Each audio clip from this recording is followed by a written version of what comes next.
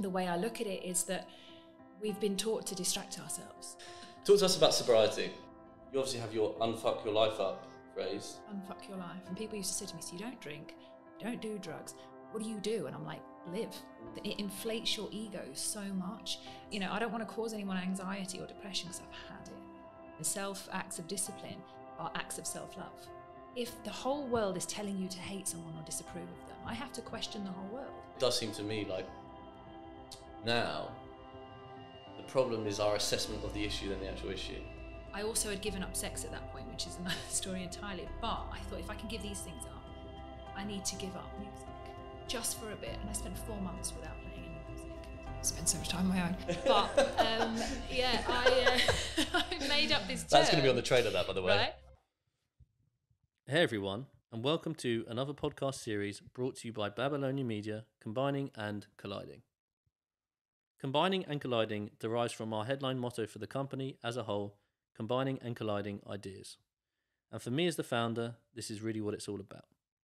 Combining and colliding ideas, experiences, concepts, and more to evolve our understanding of people and the world around us. Expect an organic conversation with every guest and hopefully some profound words of wisdom to take on board. This episode is with a lady called Nat Rich, a truly fantastic human being who has been through a hell of a lot. We go into her experiences with getting sober, her feelings towards social media, and much more. I really hope you enjoy our first episode. Have fun. Um, all right, Combining Colliding podcast uh, with Nat Rich. Nat Rich is a personal responsi- responsibility mentor, founder of I Am Sound Radio, a global wellness and dance radio station. Is that right? Um, she's also a public speaker and founder of the Sustainable Flow, which is coming out next year. Yeah, that's a, a kind of project that's been on the side for a while that I've been working on, but it's uh, it's a device that reduces carbon emissions. Cool, cool. So, just to open us up, very very broad to start with. Uh, what is happening? Happiness to you? Oh, great question. Happiness. Do you know what? Waking up feeling cool and, and happy and chilled about my life. That's what I would define as happiness. It's not by someone else or, or having something. It's just waking up in the morning and feeling I'm not going to die by breakfast. you know, I'm not going to have an anxiety attack before 8 a.m. But no, yeah, just waking up and feeling good in myself. When do you think you discovered that?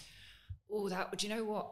That was actually a couple of years ago when I broke my back, um, and I literally woke up one morning and I'd had um, two spinal fractures, two slip discs, and a twisted pelvis, and I wasn't really sure how it happened.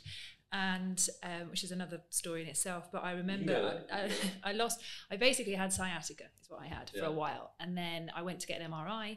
They told me I had a slip disc, and then I woke up without being able to walk or do anything. So I had to get rushed to hospital. Flew back to London on Harley Street, and the guy was like, uh, "You're not going anywhere back to Ibiza," because I was living there at the time. And he said, "You've got two slip discs, you know, a twisted pelvis, and and you know, an old and a new spinal fracture, one on either side of your spine."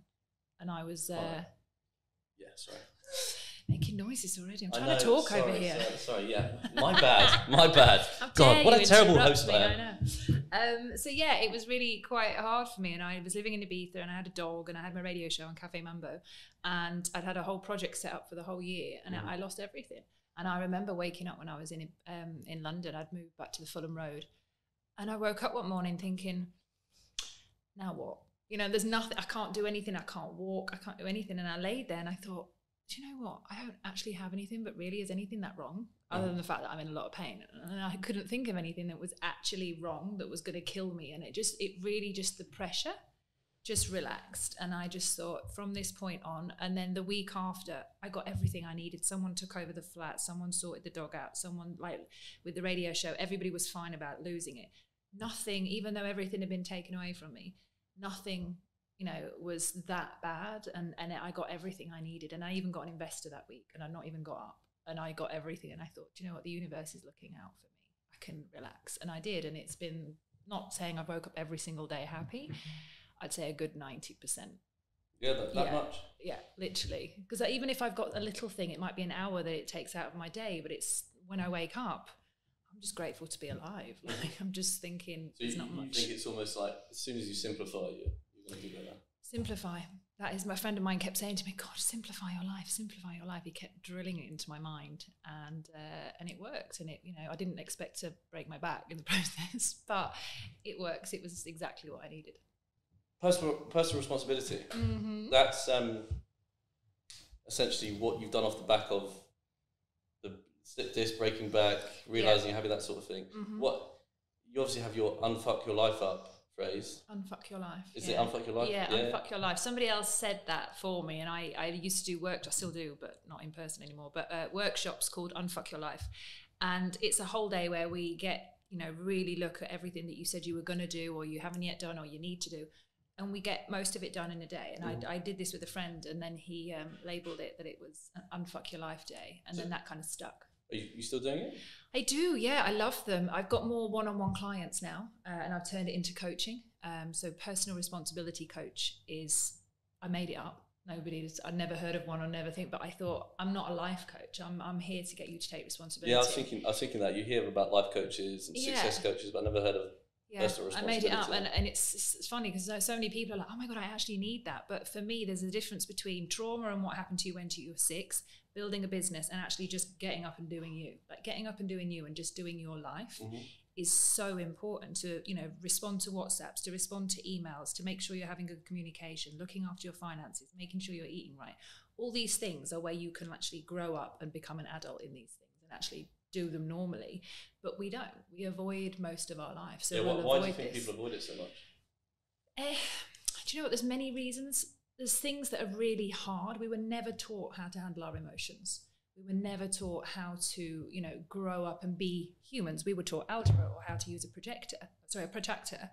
And I haven't used any of those skills, you know, and, and there's things, there's subjects at school that are irrelevant for what we need now.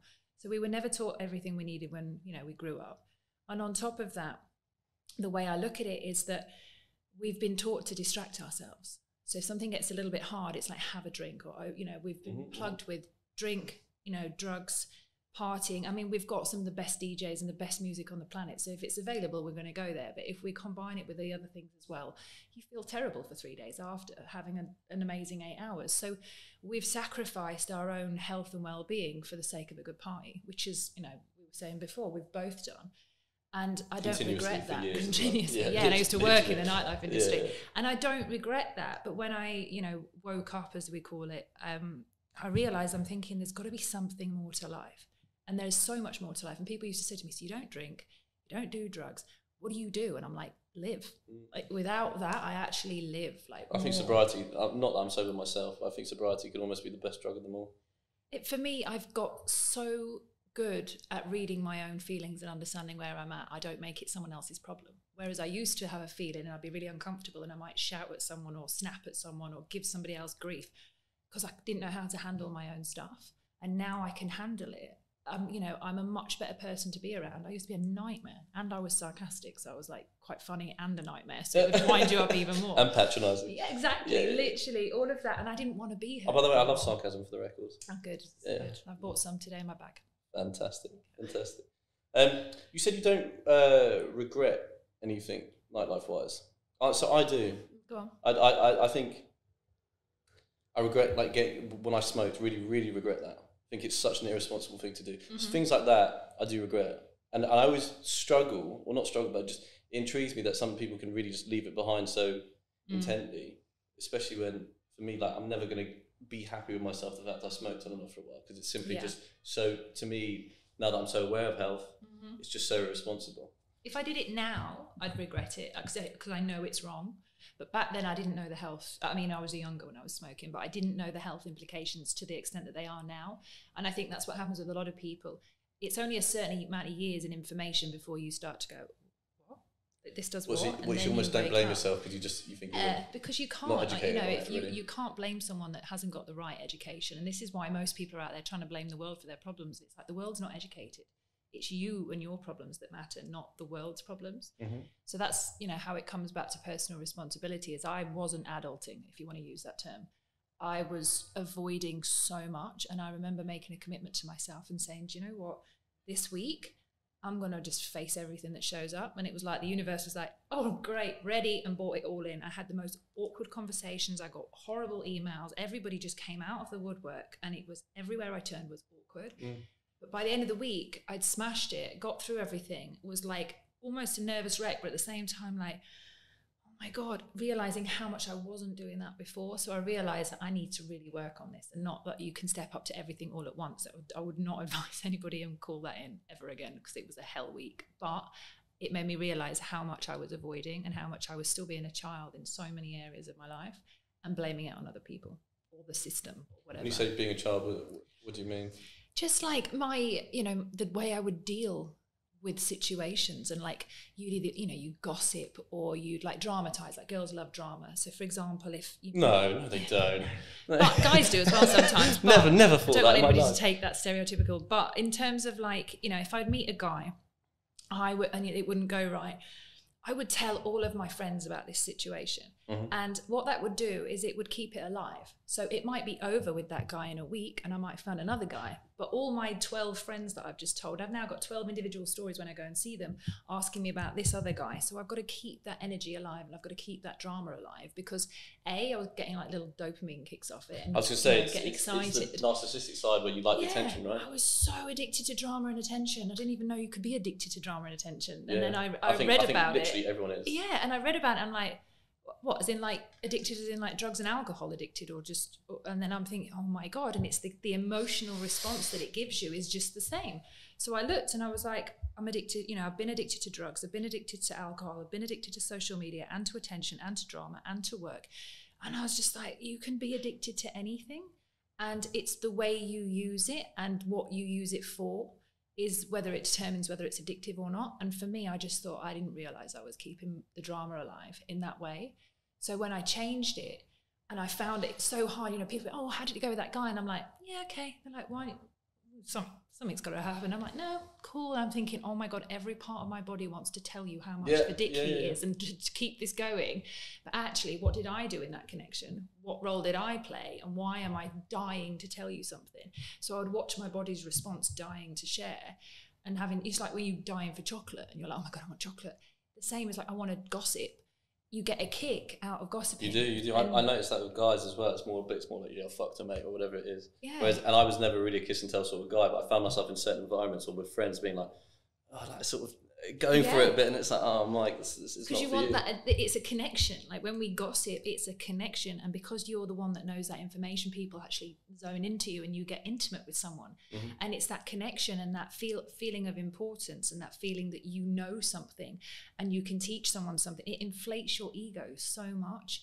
And we you know i did this so much. I was you know i knew everything for some somehow everybody would always tell me things and it, I, people would then come to me for information and I'd reel it off feeling elated and I'm thinking that I need to not do that and I, and learning to shut up to actually shut up and, and not respond to everything was probably the biggest thing that I ever did Yes, it, it creates huge sort of personal gratification once you realise how, yeah how much better that is. You know, um, I, I guess without without I don't mean this because I don't believe you. I just I just want to know because I, I find the whole like coaching world quite interesting. Mhm. We actually um, we had a someone yesterday who was a success success coach as they call it. But what I would s- the first question I would ask is would you even put yourself in the coaching world number one and number two on sort of off the back of that is what makes you the right person to Mm. to give help people with responsibility. Yeah, good, really good question. So I've kind of the idea of coach. I've all the words on my website actually say mentor Mhm. as opposed to coach. Um, but just because I'm kind of feeling into the word coach in itself, um, I'm a little bit uncomfortable with it because I know a lot of people who are coaching people that shouldn't be coaching people because they're not Well, doing it's- stuff in their own become life. a big thing, and a lot you do wonder: is Yeah. this person really right to help it's because me as a people want to help people. People, we got this feeling like we want to help people, and we also have another feeling where it makes us feel good when we help someone. So even coaching can become an addiction, and it can help you help someone else rather than deal with your own stuff. Mhm. And that's a natural path for lots of people to go into. It's not like a, you know, I'm not discrediting anyone in that sense. In, but I know for me personally that I've done the work and I, I and I'm not sitting here, oh my god, look at me. But it's I have given up drinking. I've been around everyone I know and said no when everybody else is saying yes. Like that takes you know a certain amount. I have given up drugs. I have given up social media, and I still do to this day. Mhm. And that for me is something where I feel comfortable and I don't get pulls on those things. I don't, not even tempted remotely to have an Instagram page or to have a glass of wine with a steak or anything. Mm. And when it comes to gossiping and stuff, I'm still very, you know, I like having good conversations and knowing about things, but sharing other people's information is a rude thing to do. But Yeah, before I would just, yeah. you know, run off at the mouth. Now I'm like, oh, that's sacred. I need to keep that. And I feel it in a different way. And that for me is because I've done the work and I've, I've helped my friends and, and other people, not even my friends, that have always come to me and said, Oh, how do I do this? Or what do I do this? And everyone's like, You should be a coach. You should do this. And for ages, I didn't want to identify with that because I thought, what makes me that? I haven't got the skills Yeah, or yeah, the yeah. or the training, but it's my life has been the training. It's like some friend said to me, "Oh, you've got QBE. It's qualified by experience." Mm-hmm. If you name a disaster of some kind in a social way, I've been through it, if not more than once, and I've got all this information of how I've handled things. I can now teach other people that in the aid of helping them to stop going through, you know, their own hell. And if it helps, then I will. But for a long time, I didn't want to step up to that plate because I didn't feel like a success in any way, and I didn't feel truly happy. But when my back A situation little bit of imposter syndrome almost. yeah, but when my back happened and I managed to, you know, I was happy, but I couldn't walk. I was happy and I was skin. Mm. I was happy and I was single. And I'm, Mhm. you know, and I'm still happy to this day, even though those things happened to me. And everyone was like, oh, my, I can't believe how you're handling this mentally. You know, you're all right. And it, people talk about lockdown, how it's horrible. I spent six months in bed on my own when the whole world was out doing their stuff. I Mhm. couldn't get out. You know, try doing that on your mental health on your own. And I blitzed it. And I became a better version of myself because of it. So I knew that, you know, it helped me. And this is why I think, you know, not that I think lockdown's a good thing, I don't even want to go there, but in terms of what can be achieved when you sit with yourself and go through your own feelings is, you know, magnificent. It's magic. You don't really need anyone else. You can figure it all out by yourself. And that's what I was doing. And I, I don't have mentors and coaches as such in my life. I don't pay a therapist, and there's nothing wrong with that if you want to. But I know how much I've grown by asking myself the questions and going through and journaling and, and making sure that I sit in the mirror and I look at myself and that I'm happy with myself. And. I've just done all of that and I know it's possible. So I just want to help you. I don't think everybody needs a therapist. I don't think everybody needs a coach or a mentor. You, if you coach with me, you won't be coaching with me for the next two years Mhm. because if I if I'm having to do that, I haven't done my job properly. If you know you've got skills, I'm not going to insult someone and say you can't do it on your own because you can. I can just teach you how to handle all the crap stuff. Ten weeks and we're done. If you want accountability, it's every couple of weeks, whatever. But it's not something where I need to hold your hand because I feel that I'm the one that can heal you. Yeah, I mean, I think it's like it's quite it's always quite hard to quantify what quali- qualifies someone to be a coach or mentor someone. I definitely think, without a doubt, there's a visceral element to it in the sense if that person feels really drawn to you or whatever, mm-hmm. it's, it's great. But it's just, it's just interesting to see it. It's obviously doing a world of good for a ton of different people, especially like you know when you talk about responsibility. Like, did you did you go with responsibility coach because you feel once you take responsibility and get order, that's always the platform for everything else? Is that generally what you felt? Yeah, because you can show up to yourself in every moment. You can take responsibility for the life and the situations that you fundamentally create or that you know happen to you. If you've got that responsibility for every part of your life, whatever challenges come your way, allow you to handle them. It might not be easy, but you can take responsibility and not go, "Oh my god, it's their fault. It's that person's fault," because the world works in mysterious ways and if you need some kind of lesson or you need some kind of challenge to make you grow then it's going to come and if you don't like what comes we resist it and if you're resisting life which naturally flows to you it might be uncomfortable but if you resist it then what happens is that you have this feeling of anger and guilt or shame or regret or confusion or frustration or rejection whatever it is that's where the anxiety and depression comes from I think it's severe for me personally. and I see it all with other people. It's like severe like dissatisfaction within, and, and it's always based on that. That's why I find responsibility an interesting word for the particular thing we're talking about because for me it's it's order and, and responsibility and making the right like right the right decisions is, is Yeah. what I keep emphasizing to myself. Mhm. Even so much so, literally the other day, I, I had like I felt really uplifted with energy. So I was like, okay, I'm making a lot of the right decisions consistently Mm. as well. And that was like that was that for me was such an interesting feeling to have for ages. And what's interesting about that as well is then you like I had a smirk on my face. I'm like, should I have a smirk on my face? You know what I mean? Like, is this all right to be sort of happy about this? Yeah. and and it's just interesting. Like the next layer to that, I guess, is interesting. People are quite surprised when they feel happy with themselves, yeah. and that's a whole other almost battle you've got to go through. It say, is. oh, can I keep can I keep doing this? Yeah, it develops trust when you've got pers- when you've got responsibility in the things that you do in your life or the things that you have around you. You're developing trust in your decisions, and if you continuously make decisions that help you get to where you want to be, you you trust yourself more. And it's discipline, self acts of discipline are acts of self love, and you're constantly choosing the right thing for you in the day because in the future, when you look back, you're like, I'm so glad I chose that path rather than the other one and you're learning to love yourself by being disciplined. And people say oh you know discipline's boring or it's hard or whatever. I'm not saying it's easy but like i've made it as fun as possible. I use lego and colors and make it quite humorous with people. But i come from an extremely disciplined background in the sense that my parents were military. And like even on the way here i'm you know i'm i'm coming i'm just running a bit late and i'm having to check in Yeah, with you yeah. because i know that it's not just me that this might affect. It might be you. I don't know the setup. You might have booked this room for an hour and I might be costing you an extra whatever. I don't know your financial situation. There's all these things that come into that that might We're good. Actually, We've got we're plenty of time. but there's all these things that before I wouldn't have cared. I'd just been, oh, sorry, I'm late. Yeah. And I actually now think, what was the actions of what I'm doing? I know I couldn't do anything differently this morning, but the situation might cause you some frustration. Mhm. So I'm taking responsibility in a whole way of, of allowing you to know where I'm at. You might have needed to cancel me or whatever. I just think a little bit greater than I used to because it's not Mhm. all about me anymore. Mhm. Although I used to love it when it was because it was much easier but now it's definitely you know my look on things and how i want to help other people i know what boundaries are and some people have firm boundaries because they've been hurt in the past. It's not because they're being horrible. And if i push those boundaries we all know what that feels like. If somebody's pushed on your boundaries you're like oh my god this is really you know grating on me. Or it's getting annoying.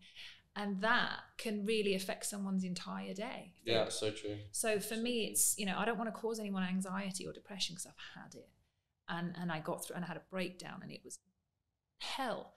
But I don't want to do that to anyone else. So by me taking personal responsibility, I might not get it right all the time because I'm, I'm not aware of everyone's boundaries. But if I try and not to piss someone off, or try and not to be late, or try and take responsibility for what I can, then hopefully that you'll see my intention and it'll be better for you. Does that make sense? Yeah, yeah, yeah. I mean, it made it made made me think. Actually, do you think? I've I've found this more on a personal level, but do you think once you realise, and this is something I am actually really trying to push within the whole like Babylonia Media concept with regards to philosophies and the way we approach any podcast we do. Do you, do you think as soon as you start to realise that, well, this is my belief anyway, that humans are quite got a lot of commonalities, but there's definitely it's it's all about the environmental factors that make that person who they are in general. As, as Mhm. far as day to day and and those things are as soon as you understand that, become less judging of that person and well, I guess yourself first because you understand, and secondly of, of everyone else. So you're much more.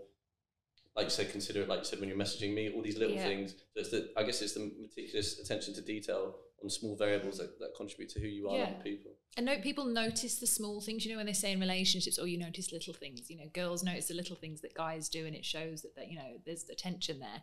Attention to detail is not just for relationships or legal agreements; it's for life. And like for Yeah. example, I went Yeah, yeah. I went to my friend's house the other week, and I went to the toilet, literally had a wee, and then I noticed that there's no toilet roll left. There's like three things, so I used that, and then I put another one on, Mm. and then went and It's sat funny. and had a tea. it does sound so sort of yeah, it's minor. I mean, but it but it does make a difference. Yeah, and I didn't think I don't, I don't anything think of that. detail should even be a phrase. I think No, that should just be what it it is. just should That's be who how you should are, be. but Yeah, we yeah. have to point them out right now. But Mm. he, I never even thought in a million years he would say anything about that. So I just put the toilet, and you know, the toilet roll on, and went and sat down. And he's just like, "Oh, you put a new toilet roll because he lives on his own." He's Yeah. like, "You put a new toilet roll You're, on." you're considerate. Yeah, yeah, I was like, "Yeah," and he went, "That says a lot about someone." I'm like, "Does it?" And I then I'm think like, it "Do you know what I it really, does?" I yeah. really think it does. It means 'Cause- it means you're not. I just don't want to be the next person on the toilet. It's like, Yeah. oh no. empathy. It's literally Yeah. empathy in the smallest form. it's tiny but it you know it's just so for me it's so important that i can show up the best version of myself but i used to, I used to have an addiction to personal development as well yeah. ironically but this isn't this isn't something that can be negative if you're constantly trying to be a better person in some way whether it's a coffee or whether it's a toilet roll whatever it is that's a good thing but we also need to appreciate that we're not perfect and we're not going to get everything right all the time and you've got to kind of be a little bit relaxed but it's, we're not doing that. I'm not putting that toilet roll in his house so he approves of who i am because that's a different version. Like if i'm doing it just because i want him to see it and want him to think yeah, i'm a not, good not for person the tap on the back. yeah if i'm doing it for you know that tap on the back then that's me coming from my ego needing some form of attention and wanting you know connection with him and so i'm sticking a new toilet roll on. It, like that doesn't help if i'm just doing it because i know that that's what you do with a toilet roll you know it's like you put the lid back on the toothpaste because that's where the lid goes you put more loo roll on the toilet things that's where it goes Funny the analogy. Yeah. it's, true. it makes- it's true it's it- it- tiny the simplicity of it does relate into, Yeah. into so many different things. But I didn't do it because I want him to come out the bathroom and be like, hey, you're a good person. It's just, it's not what I do it for. But it's recognizing the difference as well, because trying to be good for other people, you end up walking around on your tiptoes. Mm. And I call them CCs, they're like constant correctors. Mm. And it's not bad to constantly check yourself and keep moving. But if you're constantly checking yourself to a point where you can't really be free, or you're constantly checking other people and pulling them up on it, that's when it becomes a problem. And the world is full of CCs right now. It's you know there's constant correctors everywhere in this environment. Um, Such as? In terms of like what's going on, you know, in the way that we, the words that we can use, the way that we speak, every you know, cancel culture is excessively, you know. It's just bigger than I think anybody thought it would ever be. We didn't even know what cancel culture was till deeply- it's 2020. deeply concerning. It is, and it's it's a need to control your environment rather than the need to control yourself. So lots of people are trying to control the environment because they don't have a handle on who they are, and, And control people's thoughts, which Yeah. is what really concerns me. Like, it- it's, it's impossible to control your own thoughts all the time. So trying to control someone else's thoughts instead of your own is even harder. It's like a, it's an impossible thing to do.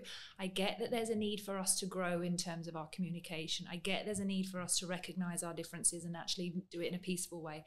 I get that there's a difference of people how they now want to be, you know, identified.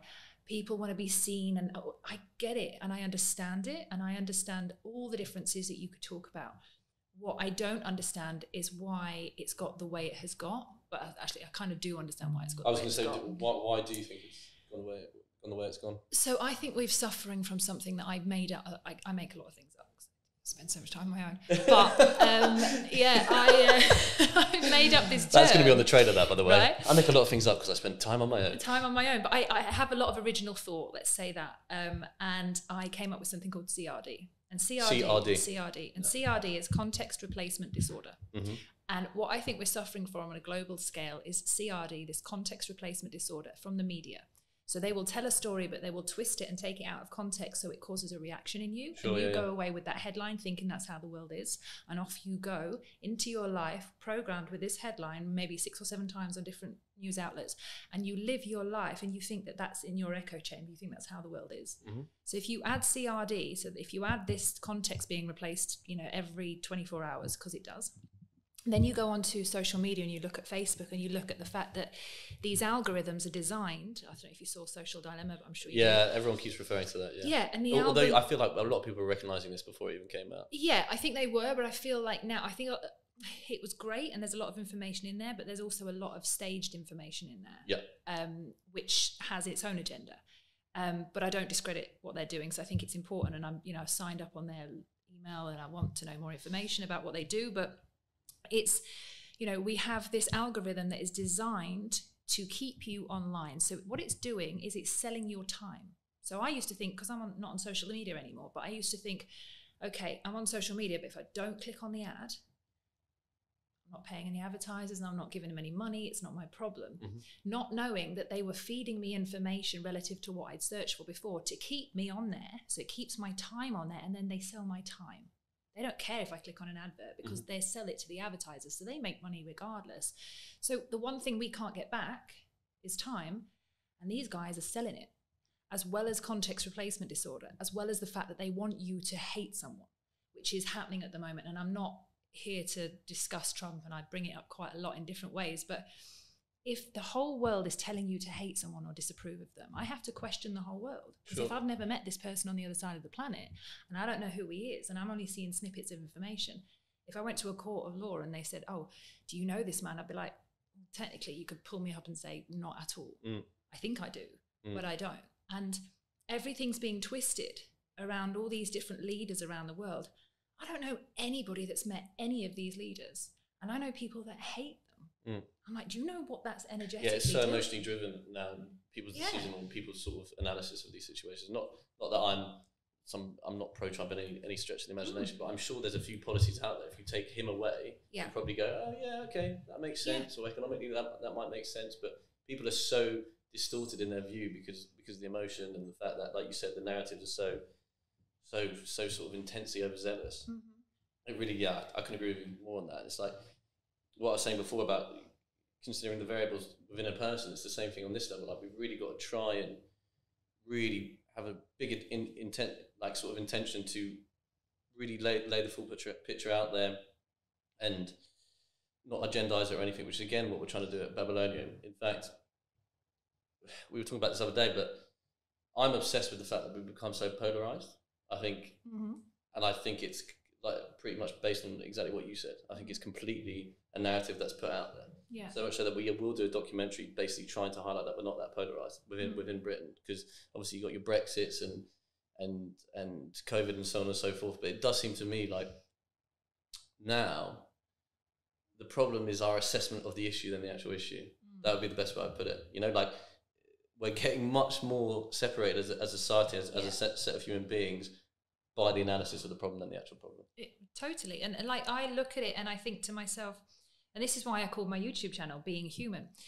Being human, what actually does that mean? So it's before you've got your name, before you've got your gender, before you've got your race, before you've got your religion or your political differences, before you know anything, you were born as a human being.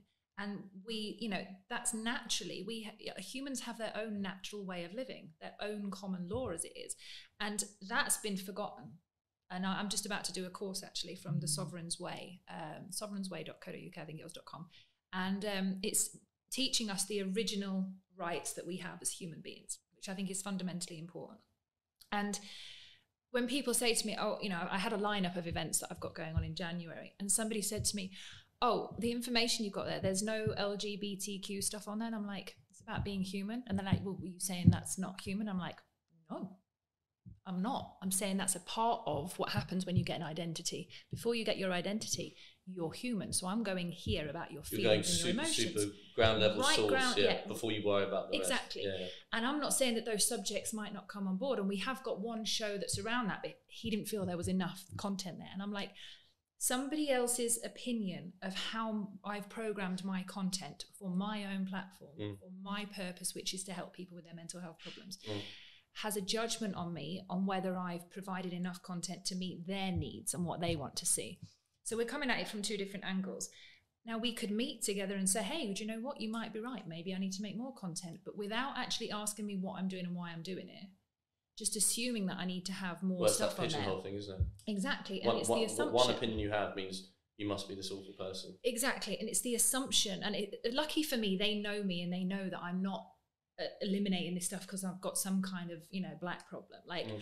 I haven't in that sense, and I haven't in any sense to do with that stuff. But I don't feel that that's what we need to talk about right now in this area. Mm. Everybody else is talking about that. I've had conversations on the radio about that. I constantly get interviewed about that, and I'm happy to talk about that. But in this scenario, we're going deeper, and that's no disrespect to the deep conversations that are happening, but I'm talking about baseline human being, what you were born as, a human being, unless you were born as an alien. And if you are, let me know who you are, because I would love to have a Love to meet conversation. you. Right? Podcast ready. um, you can join me on that one. I'd love to. But the, you know, there's so many things that actually matter, like your feelings and your emotions and how to handle your moods and and how to just exist before you go, Hi, my name's John, I'm black, six foot two, and I'm gay. Mm. Like all of those things are an extension and they're part of your identity and they're important to you. But there's a part of you that is important to the world, and that's how do you operate as a human being with other human beings? Mm. Because it's your differences that we've got at the problem. When you assess that, it goes back to the commonality aspect. You actually Mm. realise you've got more in common with someone you just wouldn't, wouldn't Yeah. at all. And, and I feel like I've in the nicest, you know, for me, I didn't realize this, but when Black Lives Matter happened, I questioned myself on, you know, how many black friends have I got? How many, you know, and I'd never asked myself that Yeah. question. I, th- I Eighty think a lot of people did. Yeah. eighty percent of my friendship circle is of another, um, you know, ethnicity in some way. I had no idea because they're just my mates. Yeah.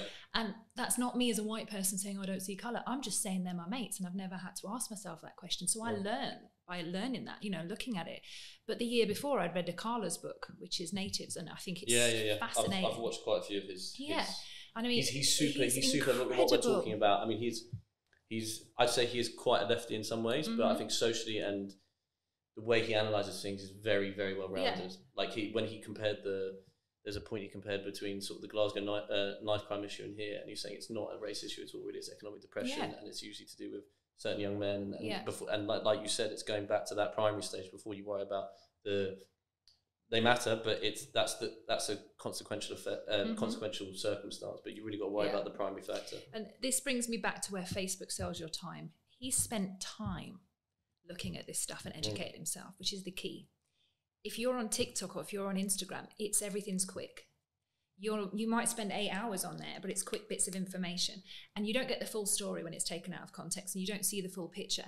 Someone like him has gone out and educa- educated himself and spent time looking at these subjects. So now he can seem like a grand wizard of information where really he's got the same human capacity as most people, hmm. but they don't spend their time in the same way. Yeah. And they spend Effective it time is just, I mean, reading. Exactly. I And think so when people, need to read so much. there's so many fascinating i never used to read when i was younger and then i started reading like self-help books and obviously it was all about me and at the time i was addicted to myself and i was like oh okay cool you know i can read about myself but i was learning i never argued with an author but um, they're telling me off in these books and i'm thinking oh my god that's me that's me that's me i don't want to be this person that they're describing so i started reading more and changing what i could about myself so i could you know have a better life and i learned that because i was reading about it and then my reading you know pile kind of got bigger and I started reading about other things. But someone like Akala is perfect for the time that we're living in right mm. now. And I think he's fascinating because he does have so much information and he's educated enough and he's entertaining enough to inspire other people to take the same journey. Mm. Whereas that didn't happen quite a lot in the past. I don't feel that people were as entertaining and as intellectually, you know, developed as he is. And he's got that kind of like, you know, growing up in Camden, that whole situation. People can relate to that and there's relatables. Mm. and i value someone like him and i would call him an influencer because he's influencing someone to spend their time in a better way. But if you're an influencer on instagram or on tiktok or something but you've got no real substance or you've got nothing to offer and you're not educating people to spend their time in a better way then for me you're not an influencer. You're take you're as bad as facebook you're taking someone's time away from them and Well, that's the right sort that of influencer. Yeah. You said, yeah. It's, yeah, and it's this influencer world that we have. Some of them help and inspire other people because they're doing makeup tutorials. And some people will go, Oh my God, makeup tutorials. Do you know, like for women to be able to learn to do their makeup properly and to make themselves feel better, you know, for them, that's a lifesaver. That they mm. can ex- actually wake up in the morning and exist in their day because they know how to do their makeup and they feel better about it.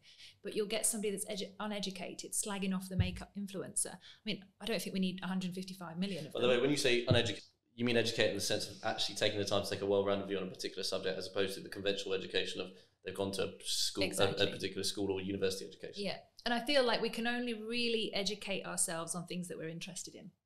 And if you're not interested in it, then you're not going to be educated in it because you're not going to want to Mhm. go that route. And that's fine. But there's going to be something else that you're really interested in that you can become educated by.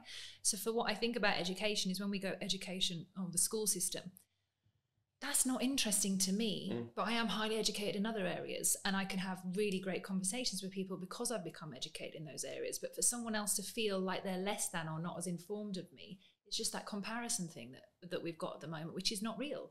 It's just that, you know, you might know something about hammers and, and drilling and you might be the best in your area. I can't compete with that. I've got no interest in it and I don't want to.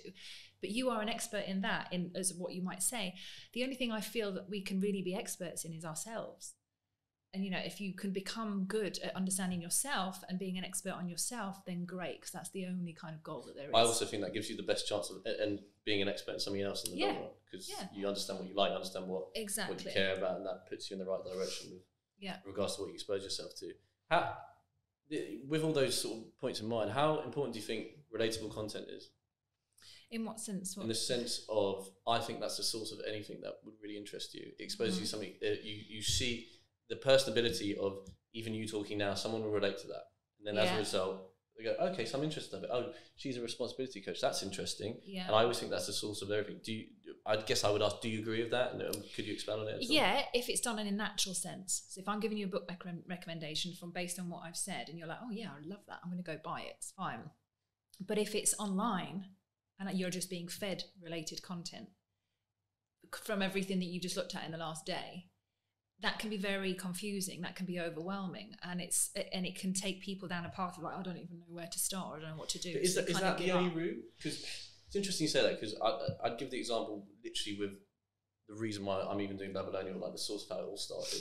I was pushed towards podcasts like your Rogans and stuff of that nature, but maybe luckily because dare I say I was more sort of level headed, I took Mhm. the right bits out of it, and then I was exposed to things that, that really I really found interesting, and as a result, I got onto stuff like Simon Sinek and and and and, and you find your why and all, all these points. I, I remember literally like the real moment I realised I wanted to do this or do something that was actually useful and media media bound was when I listened to Simon Sinek talk about the fact like recognize what your skills are, find out what you care about, Mhm. find out something useful, what's useful to people. So I would argue in that this is why I don't think there's one route, and I think to some extent what, what we will try and do at ba- Babylonia is the reason why we'll have such an array of topics is because if you just come across me once Mhm. by the algorithm, in the end you might be fed loads of other things. So I think there's Yeah.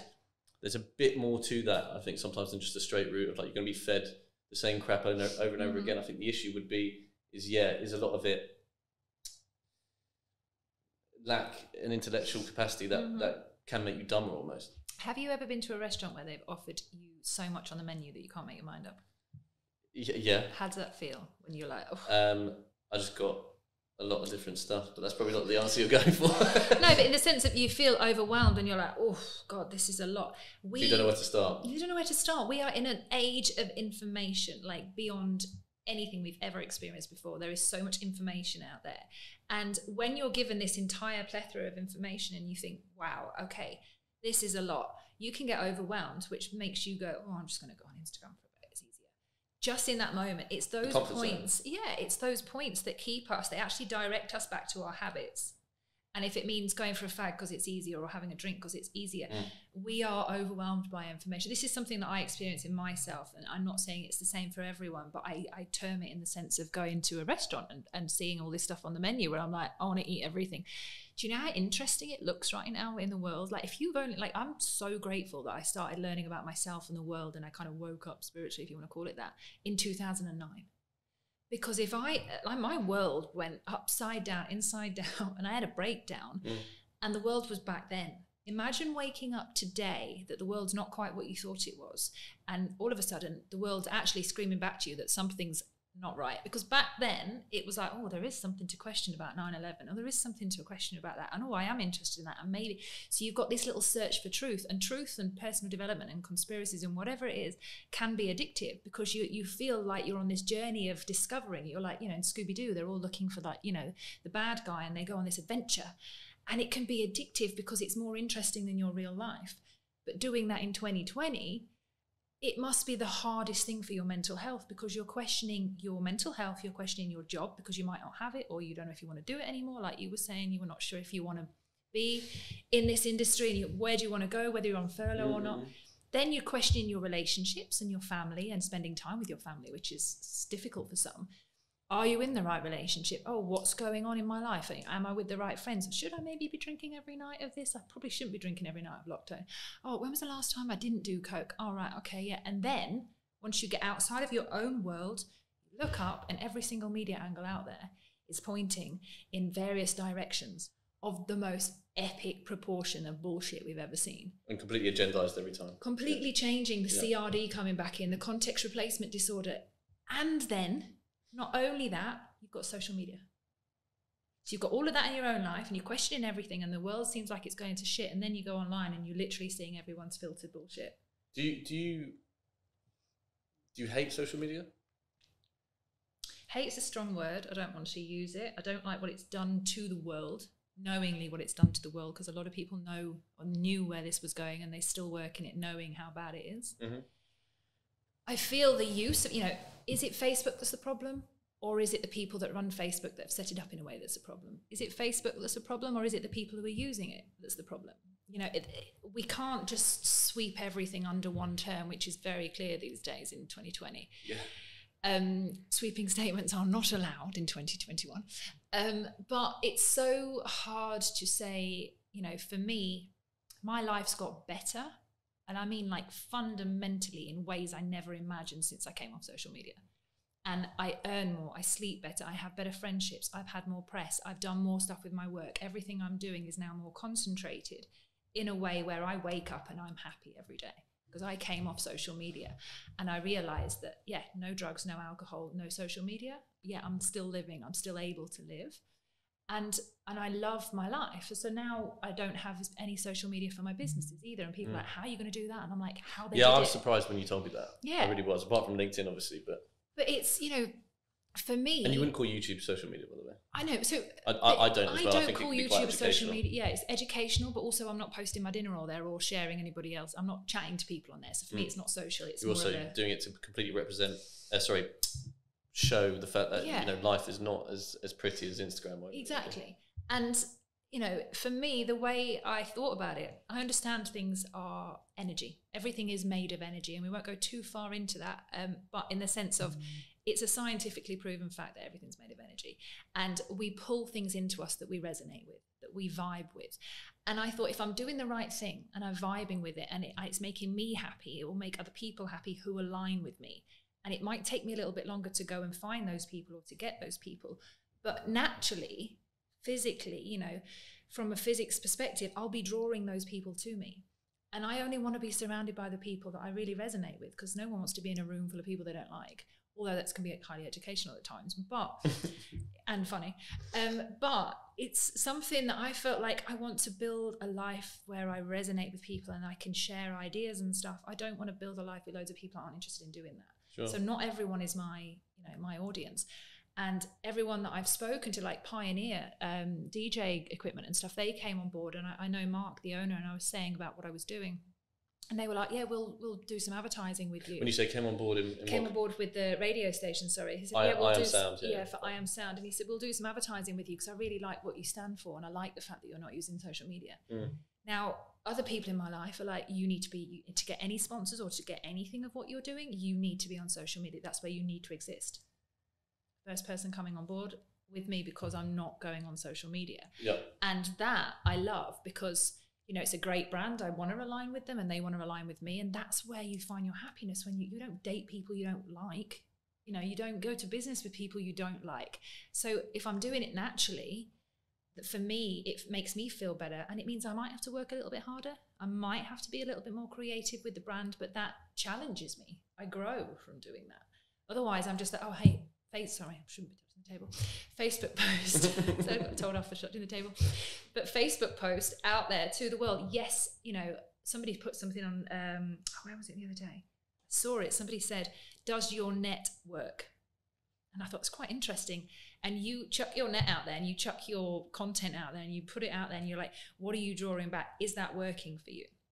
And I thought about it in a sense. I'm not putting anything out there in terms of like chucking it all on social media is my net really working for me? Am I keeping in contact with the people I know and love? Am I making an impression on the people? Am I being a nice person where they go, I actually want to do business with you? You know, I've got to grow and be a nice person to get somebody to, you know, to want to hang around with me, let alone invest in me or put money in me. It keeps you on your toes when you actually have to physically be a better person and a nice person because the world's full of keyboard warriors yeah, out agreed. there. And and I see stuff, you know, I used to see stuff online. I'd be like, okay, and just scroll on by. I, I don't understand why we have to stop and and then go. It's you wouldn't do that to ninety percent of the people that you see in the street. Yeah. You wouldn't have half the conversations. But I can control myself and go, well, that's a bit of a weird comment. Scroll on by, and I don't even think about it again. Mm. But if I engaged in that, that becomes could become the next three days of my life. I'm not giving my time away like that for anyone I don't know. And if Mm. there's a comment I don't like, you welcome to have that comment. I don't need to keep it. Yeah, And that's for me, you know, not having social media and running a business without it. I've got more time to think. My team are really creative. I've got some great people working with me at the moment. you think it's over consuming, and you think you, you per- so, you, so when I said do you hate it, you're not you don't hate it, but for you personally, it really doesn't work. And you think I don't you think know- it works for most people. I just think we're accustomed to now having to need it.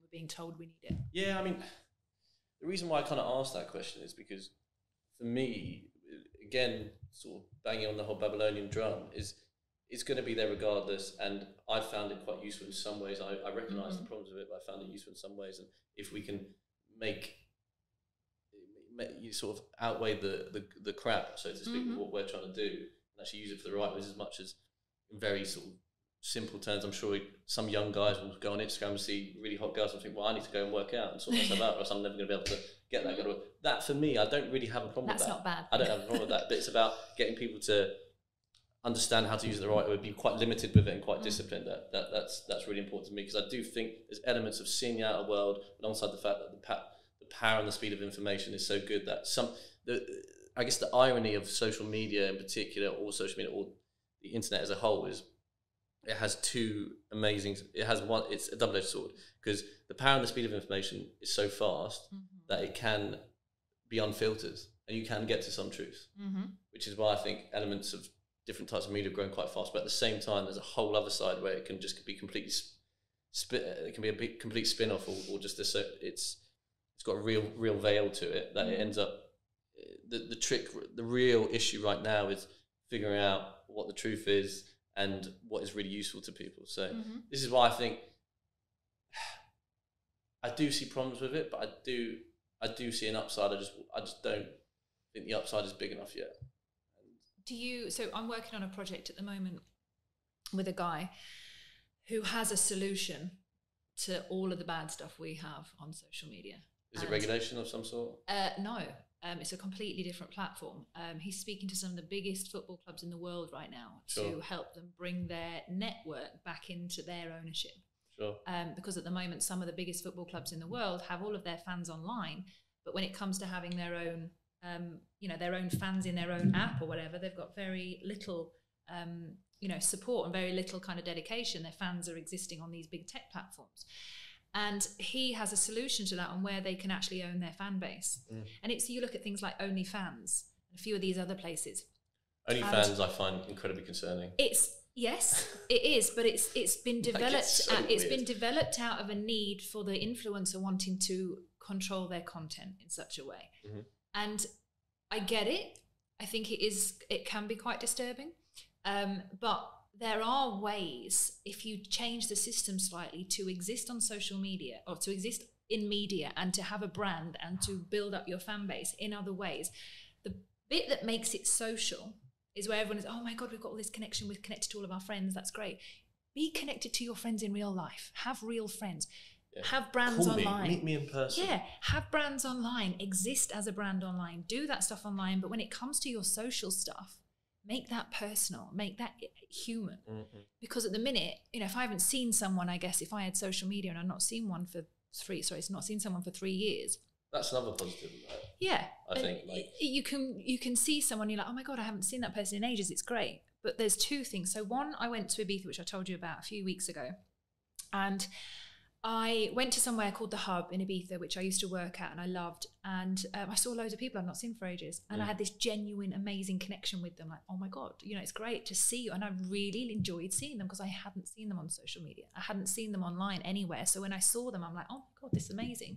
And it felt so good. I came away feeling like I'd had real connection, which I'd not had with those people for that time. Mhm. But as well, I believe if, you know, and I have faith that if we're meant to experience something or you're meant to see someone, it can happen. The universe can bring you what you want. And a prime example of this is I was walking with my dad when I moved back to Yorkshire. And I was walking with my dad, and I was like, "Wouldn't it be nice if I saw a few people that I'd not seen for years?" And he's like, "Yeah, that would be lovely because I'd not, you know, not spent time with my friends for a long time." Because I don't have social media, I thought, how do you contact someone without social media? And then as I'm walking over the bridge, a friend of mine that I used to hang around with all the times walking under it, and we're talking like in the middle of nowhere pretty much. It's not really where you'd walk, it's like the long dual carriageway. He's walking down, and I'm just like, Cade? And I looked and I, oh my God. And I started chatting. We swapped numbers. And then I went for walks with him and had this nice connection with him. And he's, you know, I still think he's a great friend, but I was naturally meant to see him. naturally is the most important thing that we're missing on this planet. Well, people will turn their nose up to that though when they, They when, will. when- they hear it. I mean, do, you- do you have a bit more like? Do you have a rebuttal to that? Because because it's hard because it, it's some to some extent I know it's almost like a visceral faith you have, Mhm. but I, I always try and think if I could relay that out more. I, I, I'm, I'm, it's hard to express really because I, I do believe I do believe it. for me, faith is what's got me through the darkest days of my life. Mhm. So for me, if someone says they haven't got faith, I'm like, okay, cool. That doesn't affect me because I have, you know, and I'm not saying, oh, I've got something you haven't.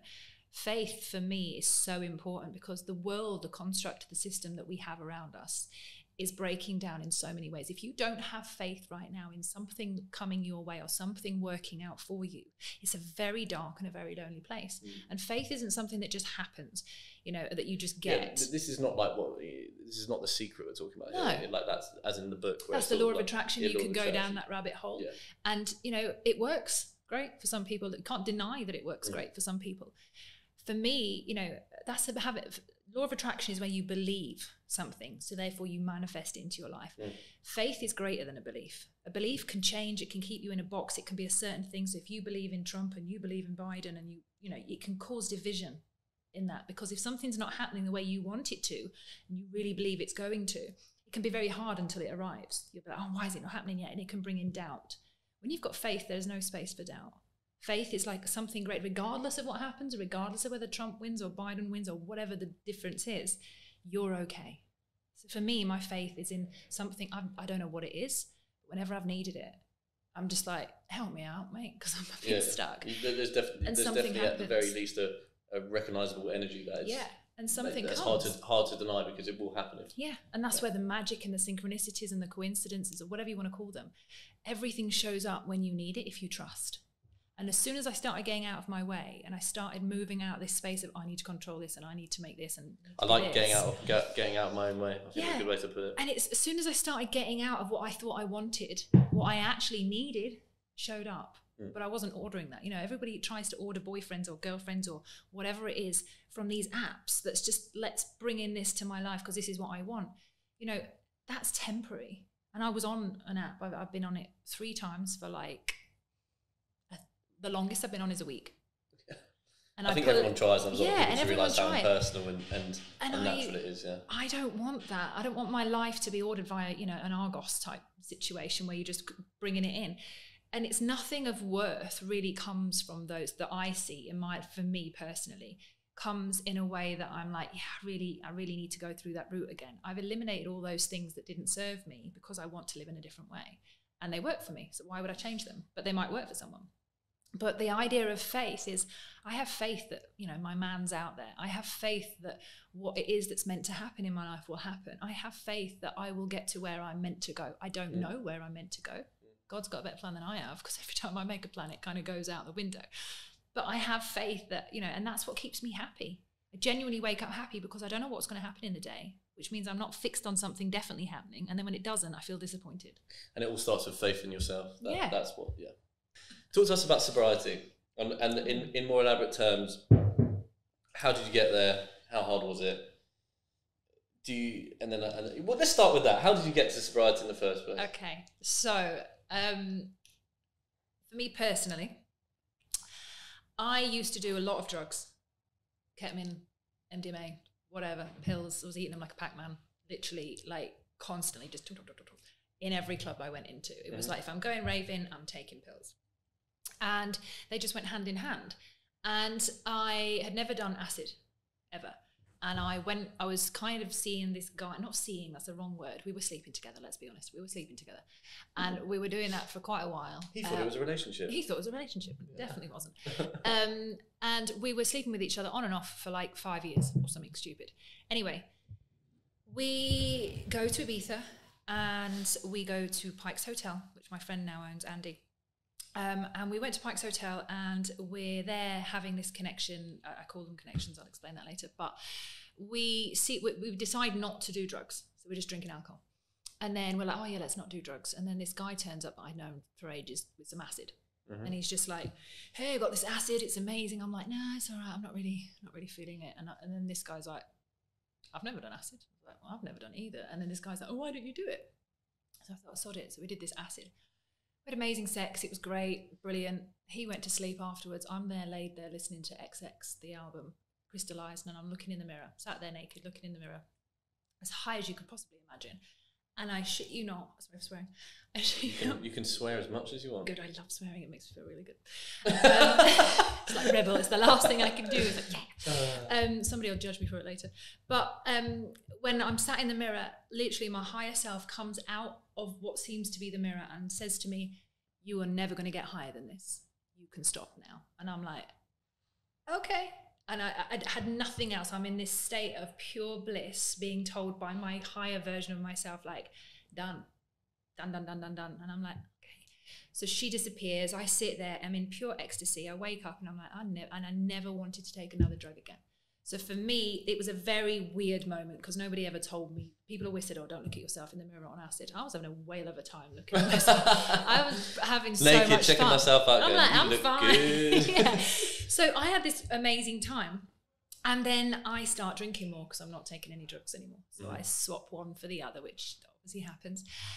And I start drinking way more, and uh, I'm getting a bit sluttier and a bit sluttier and a bit sluttier when I'm out, and it's just not good. It's not, you know, I'm not really sober. I'm not really, you know, being careful. I'm not looking after myself. A few things happened that didn't really, you know, shouldn't have really happened.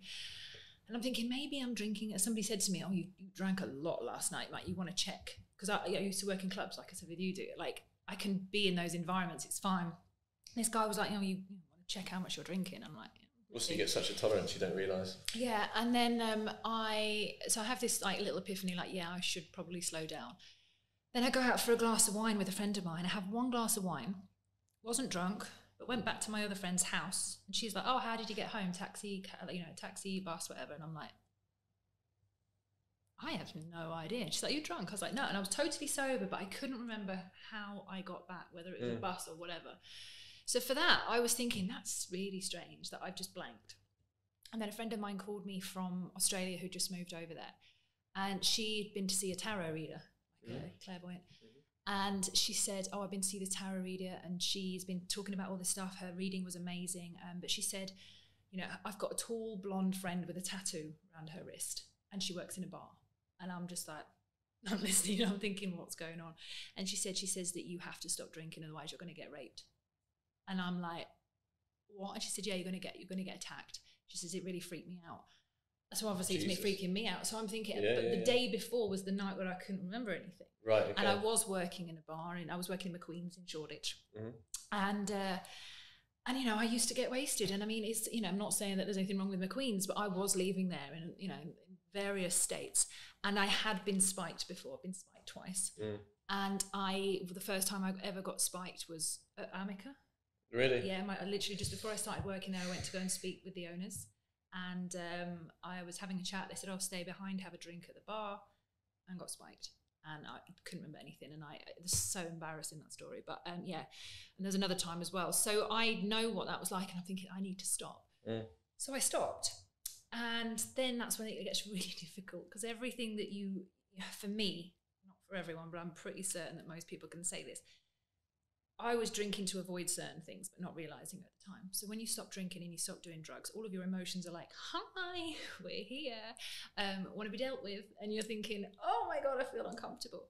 And I went through all of these different things where I was just waking up. I'd woken up. I could keep using that term, but it's the best way of describing it. In 2009, to something wasn't right in the world, and I was looking into conspiracies and other te- like technologies in the world and all this crazy stuff. So I'd already kind of had that, you know, awakening. I'd already had this weird higher self moment with acid. And now I'm having this kind of got to stop drinking. So every time I was being guided to something, it was for a greater purpose because my life was getting better and I was giving up things that weren't serving me, but it wasn't getting easier. And these emotions were so hard. And I remember I was crying, and I, th- I can't even think about it. I was crying and to myself in my room, just looking, and I have this relationship with the mirror. And I'm looking in the mirror and I'm like, Like, I am fucked. I'm emotionally, I haven't dealt with anything that I had gone through when I was younger. And I Mm. went through so much abuse, horrific relationships. I was an angry teenager walking around as an adult thinking that I knew what was going on. I knew shit. I'd, I'd not dealt with what I needed to deal with. So I went through all of this stuff. I ended up having a breakdown. And I remember thinking to myself, because at the time I was practicing DJing and, and I'd been over in Dubai DJing and I was doing all this different stuff, listening to music all the time. And I remember I watched this um, program and I love this woman, even though some people think she's quite controversial. But for me, game change. She's called Teal Swan and she did this video on how to feel your feelings, which is still online if anybody wants to watch it. And I watched that and she said, when you've got feelings, they start, then there's a horrific middle or a great middle, depending on how you're feeling, and then there's an end. And I was like, oh, so that means it can end. How I feel right now can end. But she says you have to sit with it. Nothing else can go on. So I'm like switching off the phone, switching everything. I'm sat there in the dark and it's a little candle in front of a mirror and I'm just crying and crying and getting all of this emotion out. And just, it was awful, but so liberating at the same time. And I remember because I'd been listening to music, there was a part of me that because I couldn't drink and because I couldn't take this or do that, there was something I needed a distraction. So I thought, well, maybe I can put music on. And I remembered that that also is a distraction because if I felt shit, I'd put music on to make myself feel better.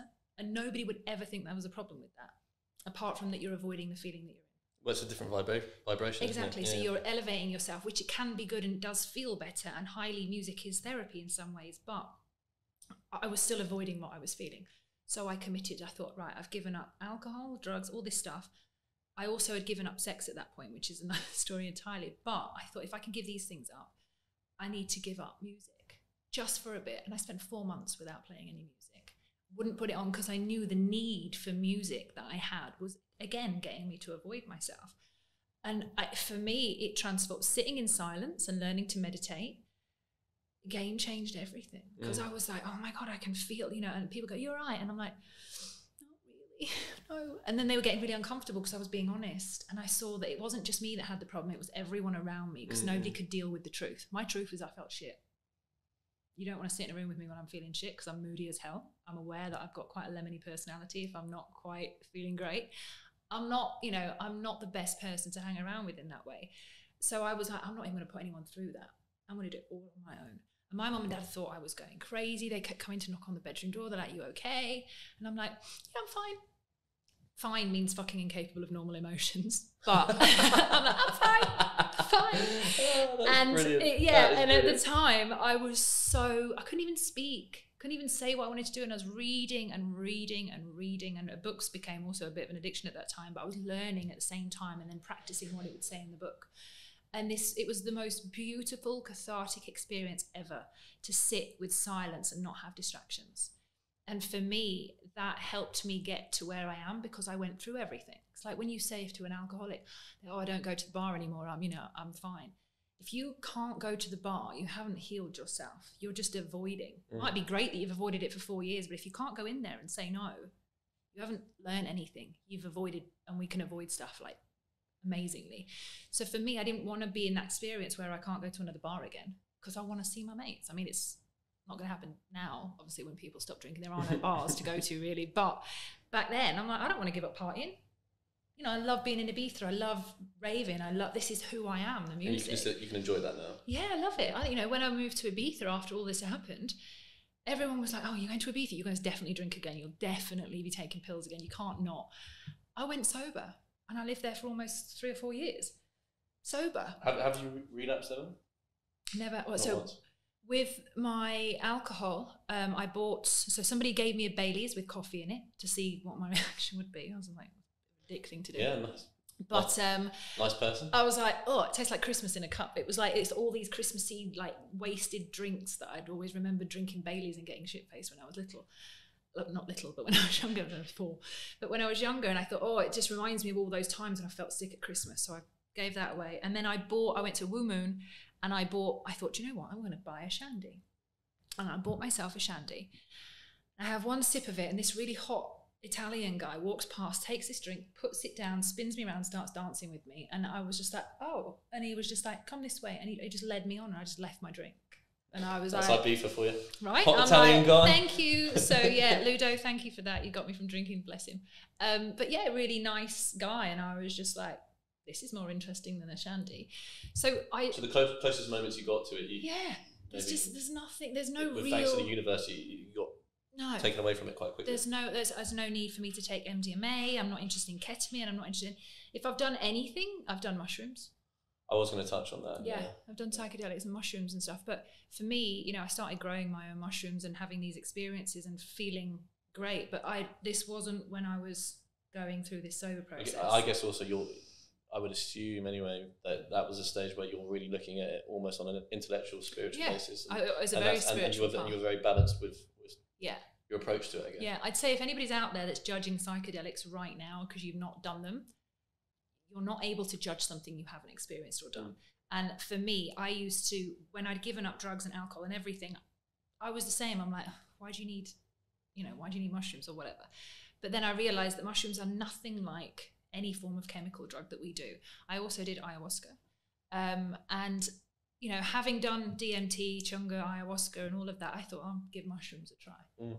and you know amazing experience i don't think everybody needs them Mm. For sure i know I think most people don't need them um Well, it's exploring part. Pro- I actually haven't done it, um, but I'm open to doing it. But I Mhm. do have a slight fear of exploring a part of the brain that I may not want to go to, and and addressing perhaps fears yeah that it's the fear like, like, like I've done. I've, I've, I've never been like heavily addicted to any drug, but I've I've done like I've tried plenty of drugs, Mm-hmm. um, and some just really put me off. Like I wouldn't won't, won't go near them. It just scares the shit out of me. Yeah. Now, I would say those were A class type drugs, right? So, but psychedelics, like, it's, it's a tricky one to, to understand my feelings towards it. But it's definitely something that I'm fascinated about, Mhm. but I'm still got a bit of a barrier to let myself do it. it's a bit like fireworks like you look and you're oh my god it's amazing but then they're gone you know once you're back in this reality you're back to who you are you've got a slightly different perception on the world and you see things slightly differently but you still got your problems still got to deal with them and this is when people really get excited about ayahuasca and, and psychedelics and they're constantly escaping themselves and i'm like it's not for that That's yeah. It's, not, it's not for you to it's a keep new sense going of discovery, isn't it? That's Yeah. that's what it's really about. but again, somebody would say, "Who am I to say it's not for them?" And that's a fair point. Mm. Uh, you know, we don't know everything, but from my experience, which I have a lot in, and I've I've seen a lot of people in this situation um, that go from taking a lot of drugs and a lot of alcohol, who have a very short stint on like mushroom microdosing or whatever they do, and they don't want to take any more drugs. Well, it They sounds wanna me like micro. I've, I've read into a lot of the microdosing with psilocybin. Yeah. li- Literally. And so much so I know they're doing it in Imperial College and places like Yeah. that. Testing it. it sounds to me like there's a real potential for There to help depression, anxiety, you a PTSD, that level- sort of thing. Of awareness, and that awareness could be just enough to get you to stop doing the drugs and the alcohol. I'm not so saying it's you, a you solution. think it's that that introspective ability is just Mhm. em- emphasized. So if someone is not say particularly emotionally intelligent, whatever, well, they could be and do it anyway. But, Mhm. but people of that ilk would it would help even more. You think?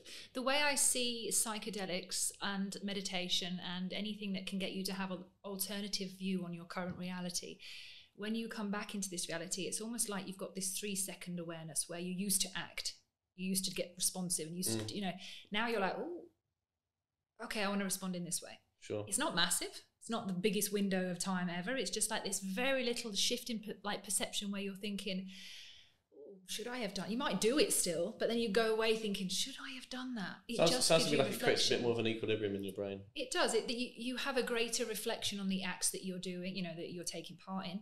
And you also have this deeper level of insight because when you take any psychedelic, it puts you in the now. Mm. You are here. You're not, you know, you're not, you might be looking at what happened in the past, but you're looking at it in a sense from a current perspective. So you're solving things sometimes from the past, or you're seeing it in a different way you're like, oh, actually, that wasn't his fault, that was mine. You're actually looking what they, you know, what people call the now the truth. And I highly, you know, I agree with that.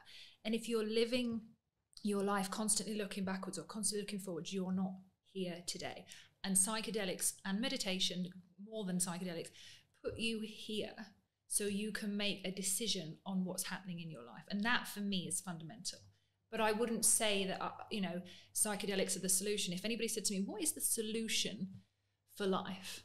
Would meditation whatever that might be for you. It's a reflection on yourself that allows you to become a greater version of you. Mm. How hard is it, do you think, to stay in the now? You don't know you're in it really until you're out of it sometimes. Okay. So when you're in it, you're just flowing and you're doing your thing, and then you come out, oh, that's really focused time. Sure. You're not thinking when you're in there. you might just feel very relaxed. Um, but There's a certain serenity to it. I've noticed Very, that. yeah. But I mean, I haven't had it much, but we've all been in the now at some point because we've all enjoyed a moment where we're just in that moment. But people spend their lives trying to be in the now. You're not going to get there. It, it comes naturally. It becomes out of something that you're fundamentally in the flow of what you're meant to be doing. And for me, the way I look at it is meditation taught me just to sit a little bit longer and a little bit longer. And even if it was feeling more uncomfortable, a little bit longer. And that taught me patience. And when you do that enough, you start to feel like, you know, the bus is not here yet. I'll wait a little bit longer. do you think fine. fun, meditation's been, been a fundamental or an integral part to your life that's kept you off, kept, kept you sober? Yeah, definitely. Because I feel like that gives me time and space to reflect. And you only change anything in your life when you reflected on it and thought, "Mm, that was probably the wrong thing to do. Or that was really good. I want to do it again. Like that gives you more reflection time. And it also, you know, scientifically, I don't know all the stats, but scientifically, I mean, I feel great when I do it and I Mm. feel great afterwards when I do it. And I know when I need to do it. Mm. And I become more relaxed. Like you were saying with your breathing, you love it. And it, it's, it takes you to a space in yourself I didn't even know existed before I started doing it. And then when I found it, I didn't want to leave doing my meditation practice. I'm like sat there in my bedroom constantly wanting to meditate more. But I was reading longer. I was staying awake more. I was taking on information more. I wasn't as angry. I wasn't bitching. I wasn't gossiping. Everything started to get better because I was learning to meditate. But, you know, people say, oh, I can't meditate. Some people can't at certain times. Nobody can't ever. It's just that, it, you know, I've recently found out I've got ADHD. I didn't know that when I was trying to meditate. So it Mm. was more difficult for me and I didn't have a teacher. I was learning like literally from YouTube, watching things and reading things and trying it for myself and just, right, I've got to sit here, I've got to sit here, stay here, stay here, stay here, and just get It can be that. learned though. It can be learned no matter Yeah. not no matter what condition, but uh, Yeah. potential men- mental things like ADHD. It can be Yeah, in. You think? But uh, a lot of it, for me, the way I look at it, this is why I do personal responsibility coaching. If you sort out your WhatsApps and your emails and you do your to do list and you've got on top with everything and you're up to date, you've shifted 90% of the bullshit you're living in. And then you can sit there and in that space, you can relax. But if you've got, it, I, I look at the, it. the power of order is just Yeah, but it's like It's I look at it. You've got Facebook, TikTok, Snapchat, Instagram, Twitter, email. You might have more than one email account. Then you've got your phone. Then you've got your messaging service. Then you've got your parents. Then you've got your friends. Then you've got. We have never been so available to everyone as we have now. So of course it's going to feel like shit when you're trying to meditate because there's a million and one distractions. It, that's just happens naturally. But as you eliminate those distractions, like we were saying earlier, is that you eliminate things in order to get something in your life. Something has to go you've got to make space for it. If you're not making any space, and I don't just mean like physical chucking out my trousers so I can fit more in my wardrobe, I'm talking about energetic, metaphysical space Mm. where you are clearing energy because you might feel like if you haven't cleared on all your WhatsApps and you haven't answered everyone, every time you open it or whether you've got notifications on, you're reminded, I haven't done that. Oh, shit, I need to get back to that person. Yeah, I haven't done that. Oh, oh, I can't, don't want to talk about that now. The amount of blocks you have in WhatsApp alone can give you anxiety. And then the I rest agree. of it. I, yeah. when, I'm trying to get stuff done, I just put my phone. I, Yeah. try, I try and literally throw it in the bin in, in a metaphorical sense. Yeah. That I, I know it's not there, or else I can't. Not necessarily gives me anxiety, but it just it just stops me doing stuff I need to do. Yeah, and it, these distractions are so readily available. And if you've got an addiction to any of these platforms, it's going to be twice as hard for you to put your phone down. So Yeah. it's it's so, and it's like you've got you might have seven or eight addictions in one phone because you might be addicted to all the different social medias and the attention you're getting from somebody that might not be a healthy relationship. There's so many parts to this environment in your phone that you can be addicted to. It's not just one thing. You're not just addicted to your. You can also be addicted to your phone because of the information that comes from it. So I had to break it all down, and I was just like, going to that, that, that. And I people say to me now, like, oh, you know, what else do you do? You know, what what are your vices? And I'm like, oh, I still eat sugar. I shouldn't, you know, still buy Snickers Do, do, you miss, do you miss alcohol ever? no, Truly not. no. Do, do you know? I, I hand actually, on heart say I do not miss it. I don't know what there is to miss. I'm, you know, I, I miss raving because now we can't do it anymore. But like, I miss raving, but it was the music and the friends. It wasn't mm. the me getting wasted. But I look at alcohol and I, I think, wow, you know, I spent so much of my time on alcohol. I'm not going to change that. I'm not going to, you know, say I regret it as such because I don't. I had some amazing times. Did feel shit as well, but I looked at a gin bottle. I used to drink gin, lemonade, and blackcurrant as one of my drinks. And I looked at these gin bottles. Yeah. And I looked I at these probably like. I looked at these gin bottles a little while ago, I think it was last year. And there's so many amazing gins out now. There's Mm. like this rhubarb gin thing. I forgot what it was rhubarb. And it an amazing sexy bottle. And I'm like, oh my God, I'm a marketing whore. Anything that looks good, I'm like, I want to buy, buy, buy, buy, buy. I wanted this bottle. I don't want gin, but I wanted to try it because it was so well marketed. And this is the problem that we're living in. They're marketing stuff to us in such a way that we are constantly stimulated by our environment. Well, I just think there's so much knowledge of how the, the brain works that it's, it's it's hitting these sort of subtle chain reactions in your brain that, that you, you wouldn't even know unless you really Yeah. sort of investigated it yourself. If anything's pink, I usually buy it. I'm, it's, I'm so bad. I, and people are like, pink. Really? You're a pink girl? I'm like, yeah. Like, it's, I don't know what it is. It's just, I love pink. You know, look at all my branding. and it's I do too. bright Used to wear pink as a baby. Still do now sometimes. In fact, when we FaceTimed, I had a pink hoodie on. Oh, yes, you did. There Yeah, you yeah. go. There you go. I bought into A man, a man comfortable with uh, the colour pink. Yeah, I liked it. Um, tell us about I Am Sound Radio, and what I mean by that is that's a terrible start to a question. Why I Am Sound Radio? Why why why did you decide to do I Am Sound Radio? And and and yeah, let's just start with that. Okay, let's start Yeah. with that. Uh, okay, so I Am Sound wasn't, uh, radio wasn't originally a radio station. I, when I was um, in bed from my back situation, sat in the mirror again um, when I could finally sit, not lay down. Um, sat in the mirror. 'cause I always go to the mirror and have these conversations. And I'm sat in the mirror and I'm talking to myself. What do I do? I've lost everything. What is it I'm trying to do? I had this other business that's been in R and D for ages, but it wasn't setting my soul on fire. And I'm thinking, where do, where's my next bit of inspiration? And again, higher self was just like, what is it that you enjoy? Because if you do that, other people who enjoy that stuff too will come.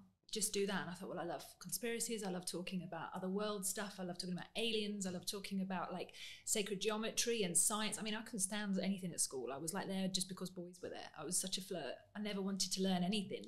Now I'm like learning things all the time. So, and I love science. I'm, I never knew I love science. I'm like, oh my God, I love science. So I'm learning all these things. And I'm like, how do I make a job of this? I'm trying to think. And then I love sound and I love music. And I remember thinking, sound comes up everywhere, whether it's you're looking at architecture, whether you're looking at the nature of reality, whether you're looking at mathematics, whether like sound is connected to everything. So what is this? So I started going on this bit of rabbit hole journey about sound, and I uh, and I listened to this amazing, um, beautiful piece of music, and um, it's basically "I Am That I Am." It's by Jonathan Goldman. It's incredible, and um, it was basically talking about energy and, and music and sound. And I'm like, oh, we are made of sound. Like we are. This is who we are. It's energy. It's vibration. I'm going to start there. So I thought, whatever it is, it's going to be. It's going to be called I Am Sound. That's the name of it. And then I thought, right, what if I did a subscription business where people could just come and learn about all this stuff and I make it really fun? So I start getting creative. And I had this idea of having a, a subscription business for creatives and, and entrepreneurs and musicians that wanted to learn about sacred geometry, all this stuff, but in a pragmatic way. So it's not too spiritual, too businessy or brain hacking. It's just coming to learn all the What stuff. is what is sacred sacred geometry? Sacred geometry is basically um, looking at like mathematics in a different way. There's ancient uh, mathematical principles that are all around us, different shapes. There's, you know, we just think we've got squares and triangles and circles and all that kind of stuff. There's so many different shapes out there that all interconnect and they're found in nature everywhere. And if like there's just so much out there that's just incredible. It's like the flower of life that you might have seen. That's you know it's one of the the kind of pictures that it that portrays is sacred geometry. So I'm learning about all this stuff, and I thought I'm just going to start this subscription business, and I'm going to make it all about kind of because I realised that what got through, what got me through my sobriety is my interest in things. And if you've given stuff up, what are you interested in? What do you now want to do when you don't get wasted every weekend? So you learn new hobbies and you go out and do things. So I thought maybe I'm the brand that sits there and can help people make that transition because I've done it. So I thought about doing that, and I, I had an amazing team. We were working at the Ministry of Sound uh, co-working space in London, and everything was coming together. And we'd got to all these different music events, and we were literally going to teach people about sound and about the structure of like vibration and energy, and how they can understand that they are that, and that they can go on and, and learn more things. And then COVID hit, and I'm like, nice timing. This is what I'm saying. Whenever I've got a plan, God's got a better one, because like what I've got now is far better than what I had. And I, I thought to myself, what am I meant to do? So I went home to my parents' house with no team, no investor, like uh, like the investor that I wanted backed out just last minute. I'm thinking I had everything and it was all exciting and branded in great colours, and now I've got nothing. Again, like what happened to me before. And I thought, well, I'm just going to sit and wait. And one of my other friends called me, and I'm doing two things at one time, chatting to him. And I go through this drawer of stuff. And when I was in Ibiza before I broke my back, I'd written a letter to myself and I put it in an envelope. And it said, You are creating this radio station. You are, like, I am, sorry, I am creating this radio station. I am. And a date on it, open on the on the um, 17th of March 2020. But this was in 2018 when I wrote it. So I'm talking to my friend. I'm like, Oh my God, I've just found this letter. What date is it? And he's like, It's the 18th of March. I was like, So I open it and I've got this letter to myself that I'd written. I get goosebumps when I think about it, and it's just describing this epic radio station where we do like what you're doing in the media and teaching people about all this stuff. And I'm like, oh, that's what I Am Sound's supposed to be. It's supposed to be a radio station with all the music combined. And I thought, well, it's wellness and dance music. They're the two things I love the most. You can rave and then you can go and like do a really amazing retreat or whatever. And I'm learning sound and understanding of the nature of reality at the same time. So I put it all together and um, I didn't have the team, so I had to redo everything on my own, which showed me that I could actually do what I needed to do. So I was quite happy with myself. And now we have a series of content um, called the Talkwoods, which is awkward talks about things that matter, similar setup as this. But we talk about all the most awkward shit that goes on in life, but in a podcast format on the radio. And where, where can they find? Where can people find you? I am soundacademy.com. I am Sound I literally lost my domain yesterday. Oh my god, it was so bad. I lost my domain for an hour and I'm like, oh my god, lost it and had to renew it. And uh, but it's back, so you can go to. The, the music you're choosing, by the way, yeah. is uh, so good. Thank I, I, you. I listened to it, some of it this morning. And I was just like, I just like went straight on your website and it just started playing something. I was just like, oh, this is. yeah, I'm just enjoying this. I had my headphones on. I was actually Mhm. funny enough doing some research on you, yeah. and um, I don't know what it was. It felt it sounded like I was in Bali. what time was it? It was about maybe ten-ish. Okay, yeah. It So- was very much. It was like, mm, I, I'm not going to do it. But it was basically like I do it. felt like I was in Bali or Sri Lanka or something like that. Yeah. Well, I've never and been that was to like, that really got me. It felt really Yeah, atmospheric and that's what I wanted, and I, you know, there's nothing that goes on the station unless it gives me goosebumps or makes me feel great. yeah, yeah. Uh, That's what I felt. I felt you were. Re- you're obviously taking quite a um, quite a lot of time in, in considering what you're putting out there. Yeah, and I and I and for me, I when I was DJing, I didn't really love playing out. I didn't love DJing, but I love choosing music, and I Mm. can put it in a great order, and people are like, "Oh my god, your track selection's amazing." I'm like, "Win." But I don't want to play out to a thousand people, but I can do it for a radio. And I, you know, I trained in radio. I was radio production and at Point Blank Music College. And I love talking, obviously, as you can tell. but I, you know, it's Good talking though, useful talking. you. But I never used to talk about stuff that was interesting. I was full of shit when I was younger. Now I'm a little bit more, you know, I know spaces between sentences. I know what silence can do. I know the power of actually, you know, having a good conversation with someone. So I'm using that in the radio. Um, and what I'm doing is I want to make these awkward conversations available to everyone. But in a, in amongst all that, you need to have good music. So I, I decided to put the whole day as you start off with the sound of the birds or the sound of the waves, whatever it is. Then it goes into your sound yoga of Bali, or sound of Bali. Yeah. But then you go into your yoga music, and then I go into like kind of more of a uh, like a heart space where it's all really nice music and quite chilled. And then we carry on with the day. In the afternoon, it becomes really fun with like your biggest artists in the world. We've got like. Sasha, we've got Roger Sanchez, we've got we've got Maceo Plex, we've got quite a few on there. So when you say we've got, you've actually got them collating playlists for you. Yeah, so they've got radio shows. They've got radio shows that they already syndicate, distribute. So I've got those. I used to run a, um, I used to have a radio syndication business before. So I had lots of artists that I worked with. So I used that content in the afternoons on the station. Mhm, mhm. And in the evening, you wind down naturally. So I was like, right, these are going to be more chilled things. We've got kids stuff coming on as well, like little kid stories to get the kids to be grateful Amazing, before yeah, they go to bed. And then we've got sound healing content, which I'm putting together um, with a number of different Yeah, I noticed that. That sounds. yeah. I don't really know much about it, so it sounded really. really It's just a, a beautiful collection of artists just to talk, uh, sorry, just to come on and explain a little bit of what they do and then showcase their music. Um, and then in the e like after that, we've got ceremony music, so it's pretty, you know, got binaural beats. We've got all the stuff you'd hear at an ayahuasca ceremony, that kind of stuff. It's very tribal, but also very relaxing. and I just wanted the whole schedule just to be like a natural day of Yeah, I was saying you, want to cater to, to, to someone's day. So if Yeah. they did listen to it the whole day, they really would feel. Yeah, they'd feel like they've been on a they would use journey. Yeah. And you know, I want to. I really want to get into doing a, a live um, call-in talk show, which I will do at some point. But you know, I've got we've got an app. If you want to go on the app, you can download it at the App Store and the Play Store. It's I Am Sound and or I Am Sound Radio, and you can get the app, and then you can watch all the content that we put on there as well. And it's I'm doing it all with no social media. No, I'm just doing it when I meet people and connect. See, kids, it can be done. Yeah, it can. it can be done. I'll be honest. I, I, I'm, I'm. You, you persuaded me more in in that sense. I, I still think, especially what we're doing, we're doing so much content or plan to do so much content. Mhm. It's going to be hard not to, to avoid it completely. Yeah. Not, not yeah, but it's it's definitely needs to be limited. Use use the right reasons, like I said. And if we and if we can educate, that'd be great. Yeah. Um, tracking back a bit on the personal responsibility thing. What's what's a classic classic example of some, what someone will come to you with? I guess problem wise, how how's it all start? A really messy life. Okay. They're my best clients. I love them. Anybody that's got, oh my god, I'm so overwhelmed, I don't know where to begin. Like, come find me. That's I geek out on being able to help people.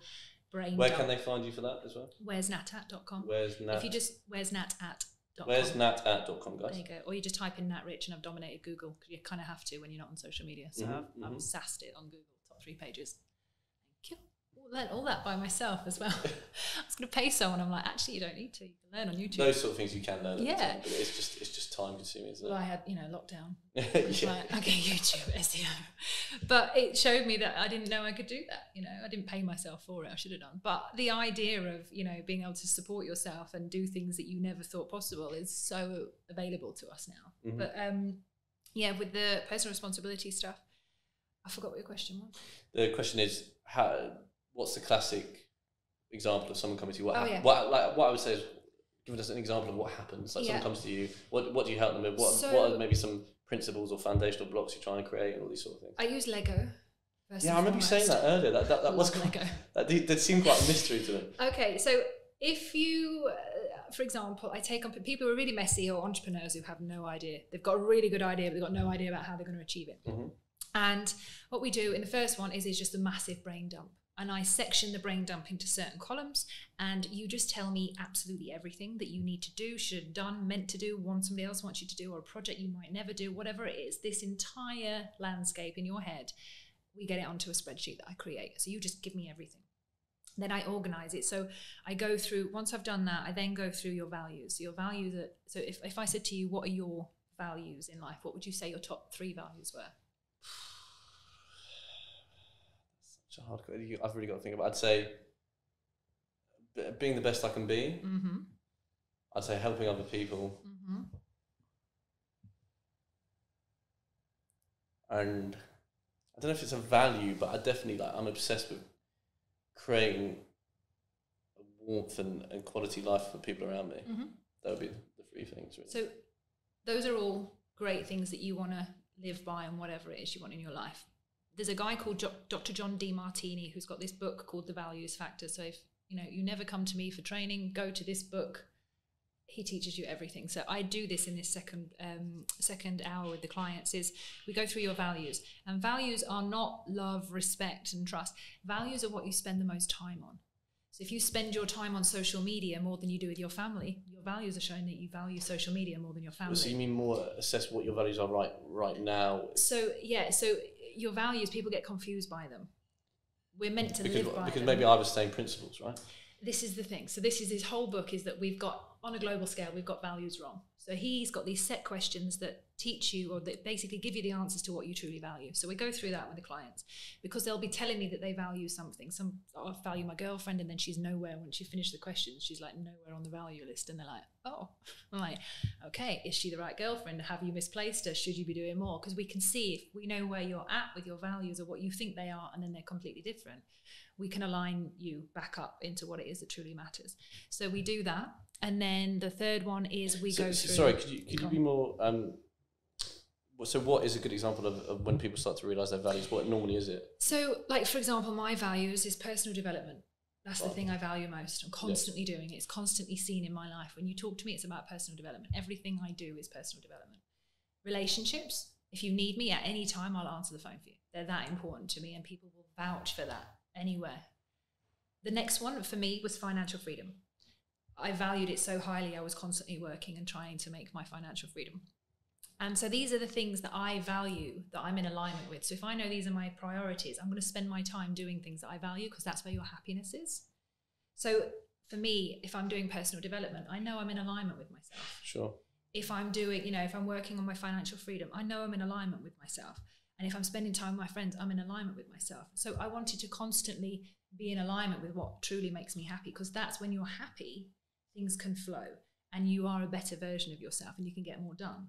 If you're in resistance to that or you're out of alignment, it can be a nightmare. And that's when you feel overwhelmed or anxious. So the, the importance of doing this in the second week is to get people aligned with what they actually want because they might be telling me something and it's nowhere in their life, but they really want it. So then it would be okay, well, now when I make you a weekly structure on the third week, in that structure, in that weekly plan that I give you, we've got to have time for what you truly love. And then they make time for it. And then they're like, oh, I feel so much better because I'm doing my. Then they're like, oh, I'm making time because I'm doing my spiritual work. So, But w- so would values be fitness? Yeah, if, if that's what you truly value and that's Yeah. what you love doing and you can see evidence for it in your life, So you, then you yeah. think you would you? I'm just trying to hone in a bit on on values. You'd say it's very it's got to be very personal to you as opposed to an outward principle that you want to affect other people. That that's two different things. Yeah, uh, affecting uh, like affect yourself first. Mhm.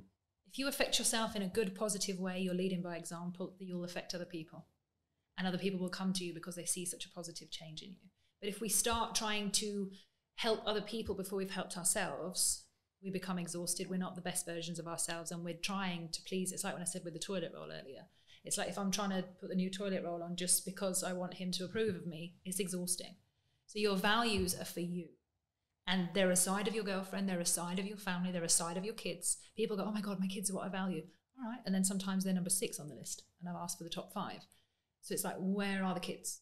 And then, oh my God, I should do that. And it's like, because they valued something else, work that wasn't making them happy over their kids, they're like, oh my God, I need to switch that. Mm. So then they come into alignment, they spend more time with their kids. Mm. So it's just a simple set of questions. I mean, this guy is an absolute rock star in when it comes to personal development, but it's 13 questions. And then beyond that, I ask you what the most, what I, I literally say, name me. This guy being the author you mentioned. Yeah, jo- Dr. John Demartini. Then after that, I'm like, right, okay, give me 10 things that you'd like to make money from. And this is something I've designed myself, but it's literally a list of 10 things that you want to make money from. And when they give me this list, I'm then like, right, okay, now we've got your 10 things. I'm going to go through and you need to give me a number based on how excited you are about doing this job. So they'll say, oh, I want to take pictures or film stuff or read for a living or I want to talk for a living. And I'll get them to rate it from one to 10, 10 being, oh my God, fucking amazing, I love this. One being, mm, not really sure I want to do it. So they rate it.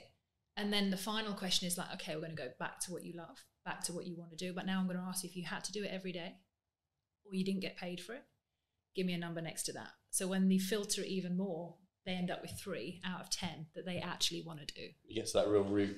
Yeah, root you get to the yeah. root of what it is you actually want to do, and then we work on that, and then your structure's made from that. There's no point in me making you a structure or saying, Liam, let's work on your life when you don't even know what it is you want to do. And I know I'm so, like, I can think so greatly. It's exhausting. My ideas are exhausting, and entrepreneurs think all the time and they come up with new business ideas every day. Stick to what you really want to do. And this is how I figured it out for myself. So now, now I do it with other people. Wow. What's your biggest fear?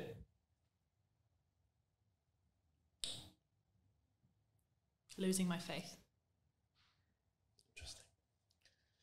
Okay. I Um, didn't know that until you asked me the question, so thank you because that's quite good to know. good. Okay. What's your What's your biggest concern for so- society? Jesus, Christ, you've got another hour. Um, Well, well technically yes. I can talk for as long as you want. Okay, the my biggest concern. I'd, I'd, I'd say try pinpoint it to one. yeah, my biggest concern for society.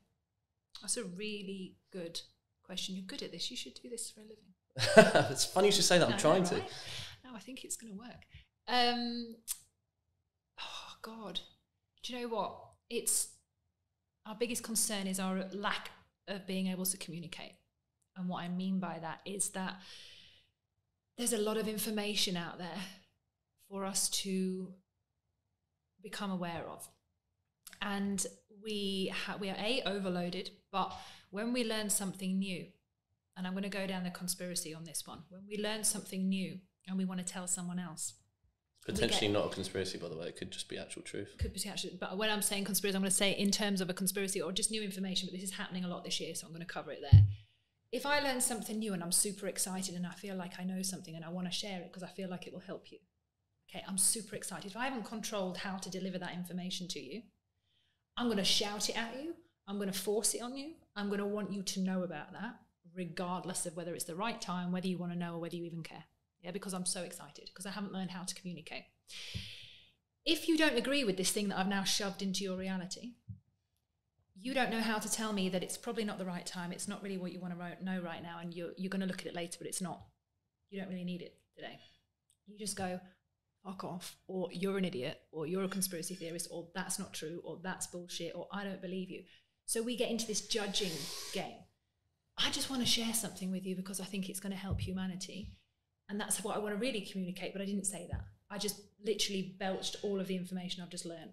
And you've taken it in a way that you can't take on that information right now, so you'll push it out.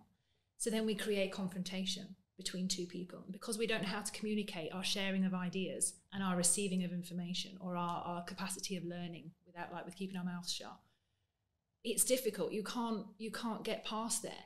So because we were never taught how to communicate, I think that's one of the biggest reasons that we're having a problem in this society at the moment because we don't know how to talk to each other with respect. I, yeah, I mean, I love that you say that because that's essentially a huge chunk of what the intention is here to convey ideas that mean you, you're willing to learn and not just put off by it and your back doesn't go up straight away. Yeah. Um, Is it the Joe Rogan thing that we were talking about, the the new podcast that was out the other day?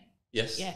So just to give you an idea of this, You can say, we names. can say you can say which one. I don't. Oh no, no, I was just going to set out it's a scenario around it. So I Right. watched this podcast. Obviously, massive fan of Joe Rogan. Not everything he says is amazing, but a lot of it, I'm like, I, I buy into that. Mhm. And obviously, he recently had the Alex Jones podcast with him and Tim, Tim Dillon. Three amazing characters for various reasons. For people who don't know, by the way, Alex Jones is like a massive conspiracy massive, theorist. yeah, he's like the king. he's considered all. Uh, so he said some quite atrocious stuff that people really hate, but then he has Mhm. uncovered some truths as well. yeah, he's a mix of both. He can take you down a rabbit hole that you don't want to go on and prove it, and then he can say something completely wacky that you would, you just whatever. He's like the American David Icke. Yeah. for us in the UK. And although I love David Icke in, in many ways, I think he's very good at what he does. Um, this podcast is three hours, 20 minutes or something like that. It's a long one. And I'm aware that it's a lot of time. It's like someone's whole morning if they've got up late. So not everyone's going to watch it. So I send it out knowing that the information in that podcast is game changing and it's worth listening to, regardless of where it comes from and what you might think of those three characters in there. The information is interesting for now. So I listen with the intent to learn. I don't scream at the TV, being like, "You're a dick. You don't know. I know this." That I'm not interested in. That I want to learn, so I keep my mouth shut. And I learned that a long time ago. You learn way more if you're not judging the information. I sent that podcast to 20 of my friends, probably Oh, that's 25. nice. We're, nice, we're friends already. but people who I think She sent that- it to me. I sent guys. it to him, but people who I'm thinking because I felt like you would get it. You know, Yeah. like people uh, you can't send it to everyone. Can't Mm. send it to half the people in my phone book because it's just not even worth the time. But I sent it to 20 of my friends that at some point have connected with me, and I thought this is going out. So I sent it to one of my friends, and um, they watched 20 minutes of it. And the response I got was like, "Do you actually believe in this stuff?" This guy's crazy. I can't even take it seriously. Just watch 20 minutes. Da, da, da, da, da. That's not the point, though, is it? Yeah. So usually, like if I'm in front of them, I can explain myself better, but I wasn't. I was on my phone. So I had- only had the voice note situation. And I found it really hard to go, just relax because I know that you're going to get so much from this podcast because it's going to, she wants to know more. So I'm like, I've given it to you for that reason because I know you want to learn, but I'm not going to patronize you and tell you that you don't know anything. Just absorb it yourself.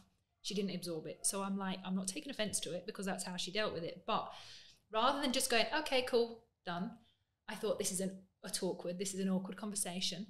So I went back to her and I said, I would have hoped, in all honesty, that you would have listened with the intent to learn, not judge this person for what you think you know about this subject already. Because she's part into climate change and Yeah, mentioned a lot. preconceived ideas. Yeah, yeah. Exactly. yeah. And I, I said, I would love it if you'd spend the time to watch it and you watch the whole thing because it's really important. And Joe Rogan actually fact checks a lot of the information that's coming out of this guy's mouth. And it's Mm. important to watch how he does that because this is how we kind of do need to communicate in a way about this stuff. Not thoroughly, but there's ways of doing it. And I think you'll benefit from it. So she watches it.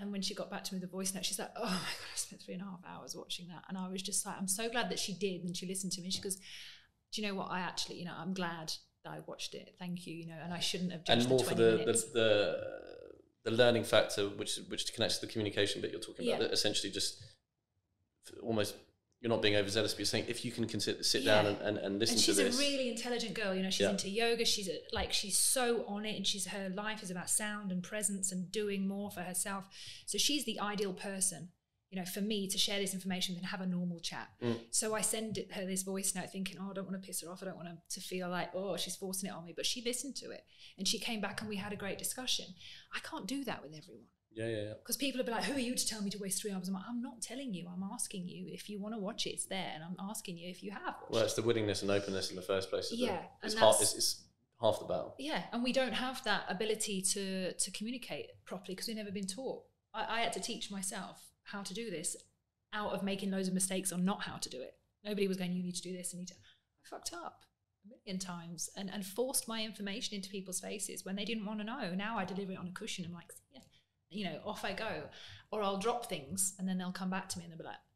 If you got any more information on that, and I'm like, hell yeah. So then I'll send them a whole floodgate of stuff. But it's I know I can't deliver this stuff to everyone because not everyone's ready to hear it. Doesn't mean it's not true. Do you think? Do you think people who are more conventionally educated block it out quicker? The reason why I ask that is because I do see see a lot of people who are you know more self educated to really have that Yeah. openness from straight away. Whereas, Mhm. and I, I, I, it's, it is maybe a bit of a brush statement, but it does seem to be apparent a bit. There's many answers for that. So I'll try and keep it concise. Um, a lot of people learn, it's like an echo chamber of what they think they already know, they follow. And a lot of people will, don't want to be challenged on information because some of them have paid for their education. And they've paid a lot of money for that education. So if you're now going, well, actually, fundamentally, the core of that is bullshit, what does that mean for their degree that they're holding their life up on? It can be very traumatizing to have to let go of parts of your identity to take on new information, especially if you don't know it. We're scared of the unknown. I think people, people find it sa- it's almost sacrosanct what they're Yeah. saying to what they've learned. Yeah. And it's, you know, especially our, our educational systems. I mean, these are the very same educational systems that thought that algebra would be a key subject for us all to know. Have you used your algebra? I can't say I have. right? And I don't know, I've not met one person yet who has used their algebra. And this is a key thing, and it still exists today. And if that doesn't show you what's wrong with the system, just by that simple comparison, I don't know what will. And this information, okay, so we live in a world of information. It's impossible for you to know everything. Mhm. Possible. So if I said, you know, um, this is a certain th- fact about a certain president, you'd be like, really?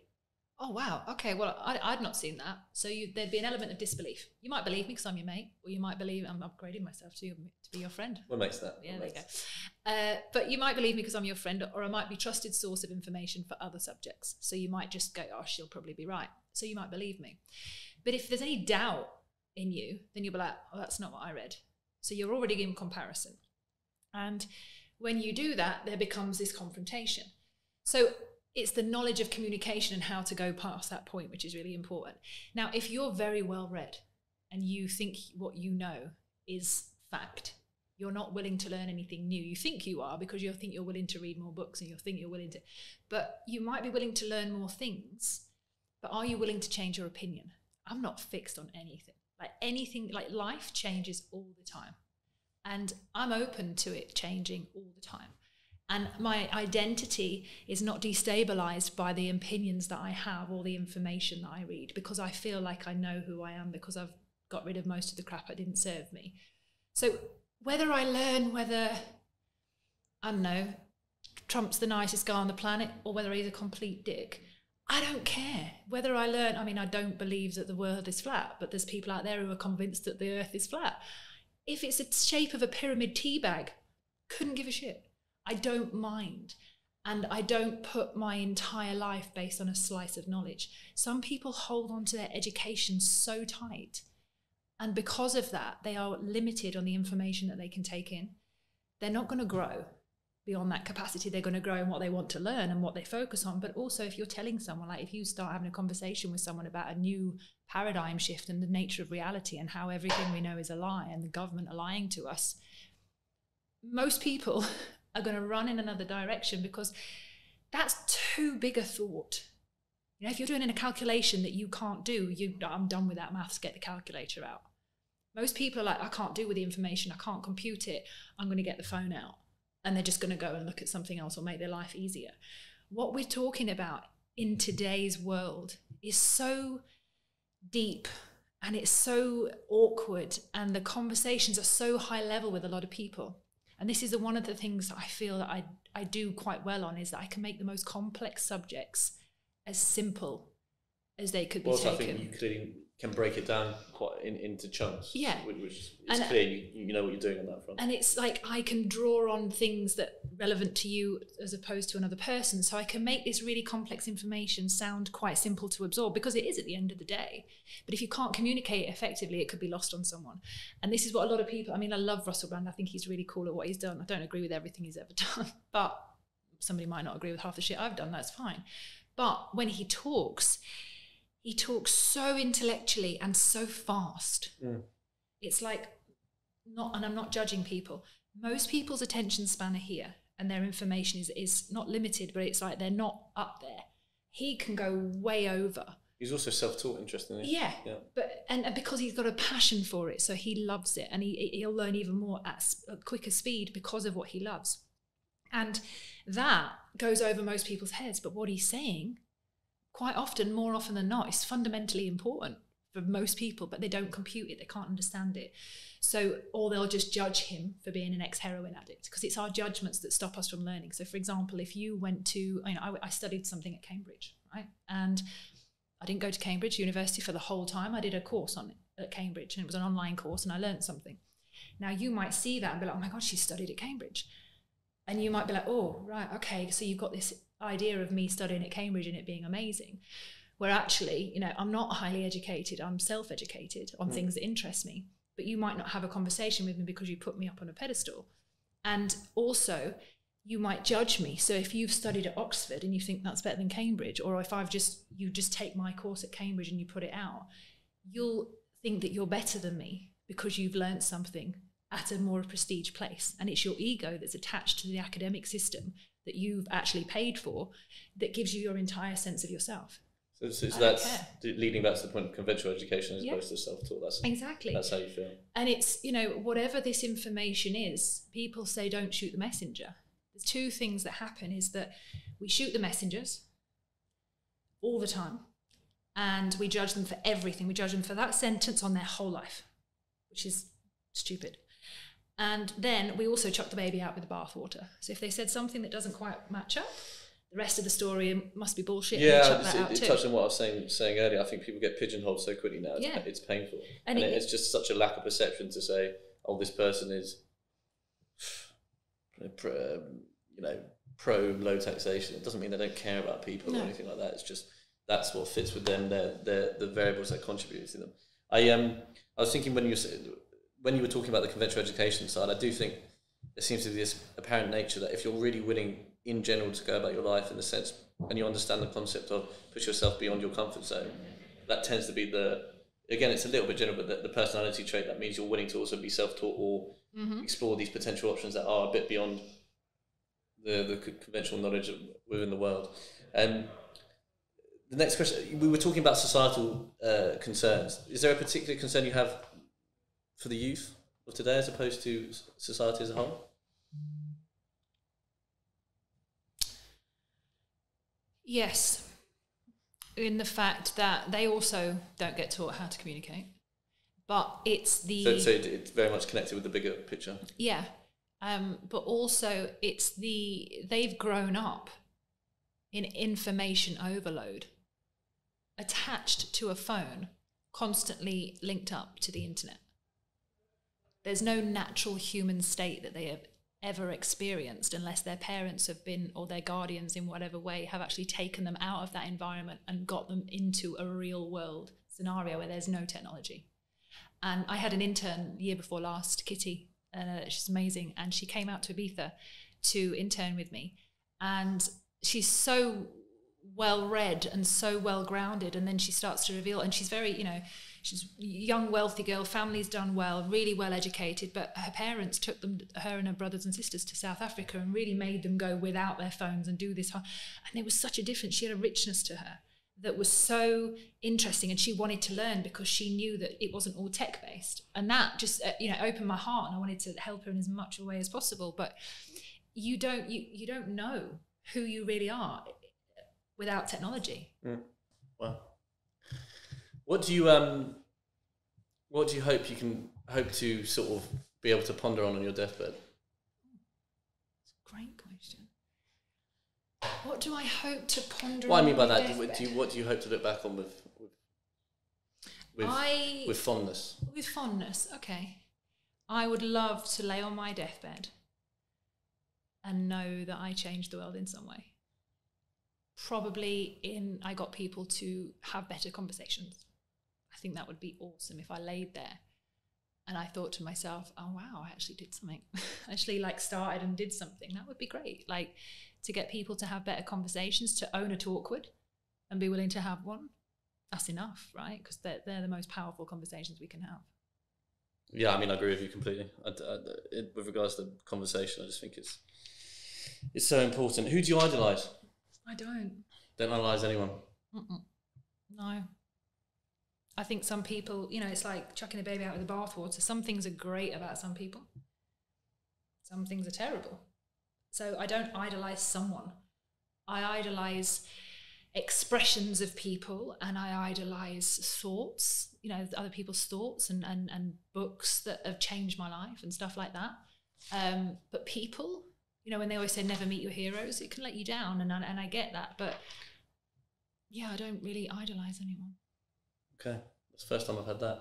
Um, not that I've asked that question too many times yet, but it's it's always an interesting one. And one. I don't mean that arrogantly. no, no, no, no, no, no, like, no, "Oh, no, think no, I think it's I think it's a great answer. I really do. Uh, what's the one thing you can't live without? Eh? No, I mean, cutting that. We're cutting that. Keep that in. I thought that was quite a profound question. No, mate, I just need air. Water. Like, what's Um, your one like not vice, but one thing like you think, oh, it'd be really hard to cut that out, and or it could be, or it could be like, what's the one person or one particular quality, one particular thing you need within your day or Um, visually or whatever. It could be Music. music. Yeah. Music. Yeah, like yeah, any form of music. You need. I need to be emotionally stimulated in that way. You know, and it's for me, it's the core of every. Everyone's got their own music, their own vibe. So I don't think I could live without music. I Wow. tried it in silence, and it was great, but you know, music fills in the gaps. Favorite movie? So I've got two. Go on. One, just because I really liked it when I was a kid, but now I watch it back, I'm a little bit freaked out that I liked it, which is The Labyrinth, which is David Bowie's The Labyrinth, just because it was weird and wonderful and a bit crazy. Um, and I like that kind of weird stuff. Um, and then the other one has just gone out of my head. Uh, no, it's not coming back. I can't remember it. Okay, in the meantime, favorite book. Oh, that's easy. Um, the Conversations with God, Neale Donald Walsch, game changer. Big for you, obviously, personally. Big for everyone I've ever given it to. I've bought this and like handed it to people and said, "You need to read this." Um, it just changed my entire perspective on what I thought God was, image and you know, and faith and humanity and religion and everything. And I, it, it just covers every subject. And I just thought, wow, we have totally got religion wrong, like totally. And it made me feel happier. And gave me it gave me a certain level of faith, um, which was for me really what I needed at the time. Okay. Right, final question. Do you think we're in a world where people are scared to be happy? We're in a world where people are scared to be the greatest versions of themselves Why? because it's the unknown. And who are they to think that they really are that great? That's what they think. It's like, who am I to know all this or who am I to do this? It's they're scared of being judged because we constantly judge people. But if you become the best version of yourself, you know, you end up being very happy because you're constantly wanting to improve and you're constantly wanting to grow. But if you don't allow yourself to get there, you will never be happy, unfortunately. That was a pretty amazing answer, wasn't it? Um, okay, brilliant. Thank that was you. that was incredible. Thank you so much. Thank you for sharing your story and the sobriety thing in particular, Shane. That was that, was unbelievable. Um, so yeah, we're good. Combining, colliding, another episode. Babylonia Media Productions. Fantastic.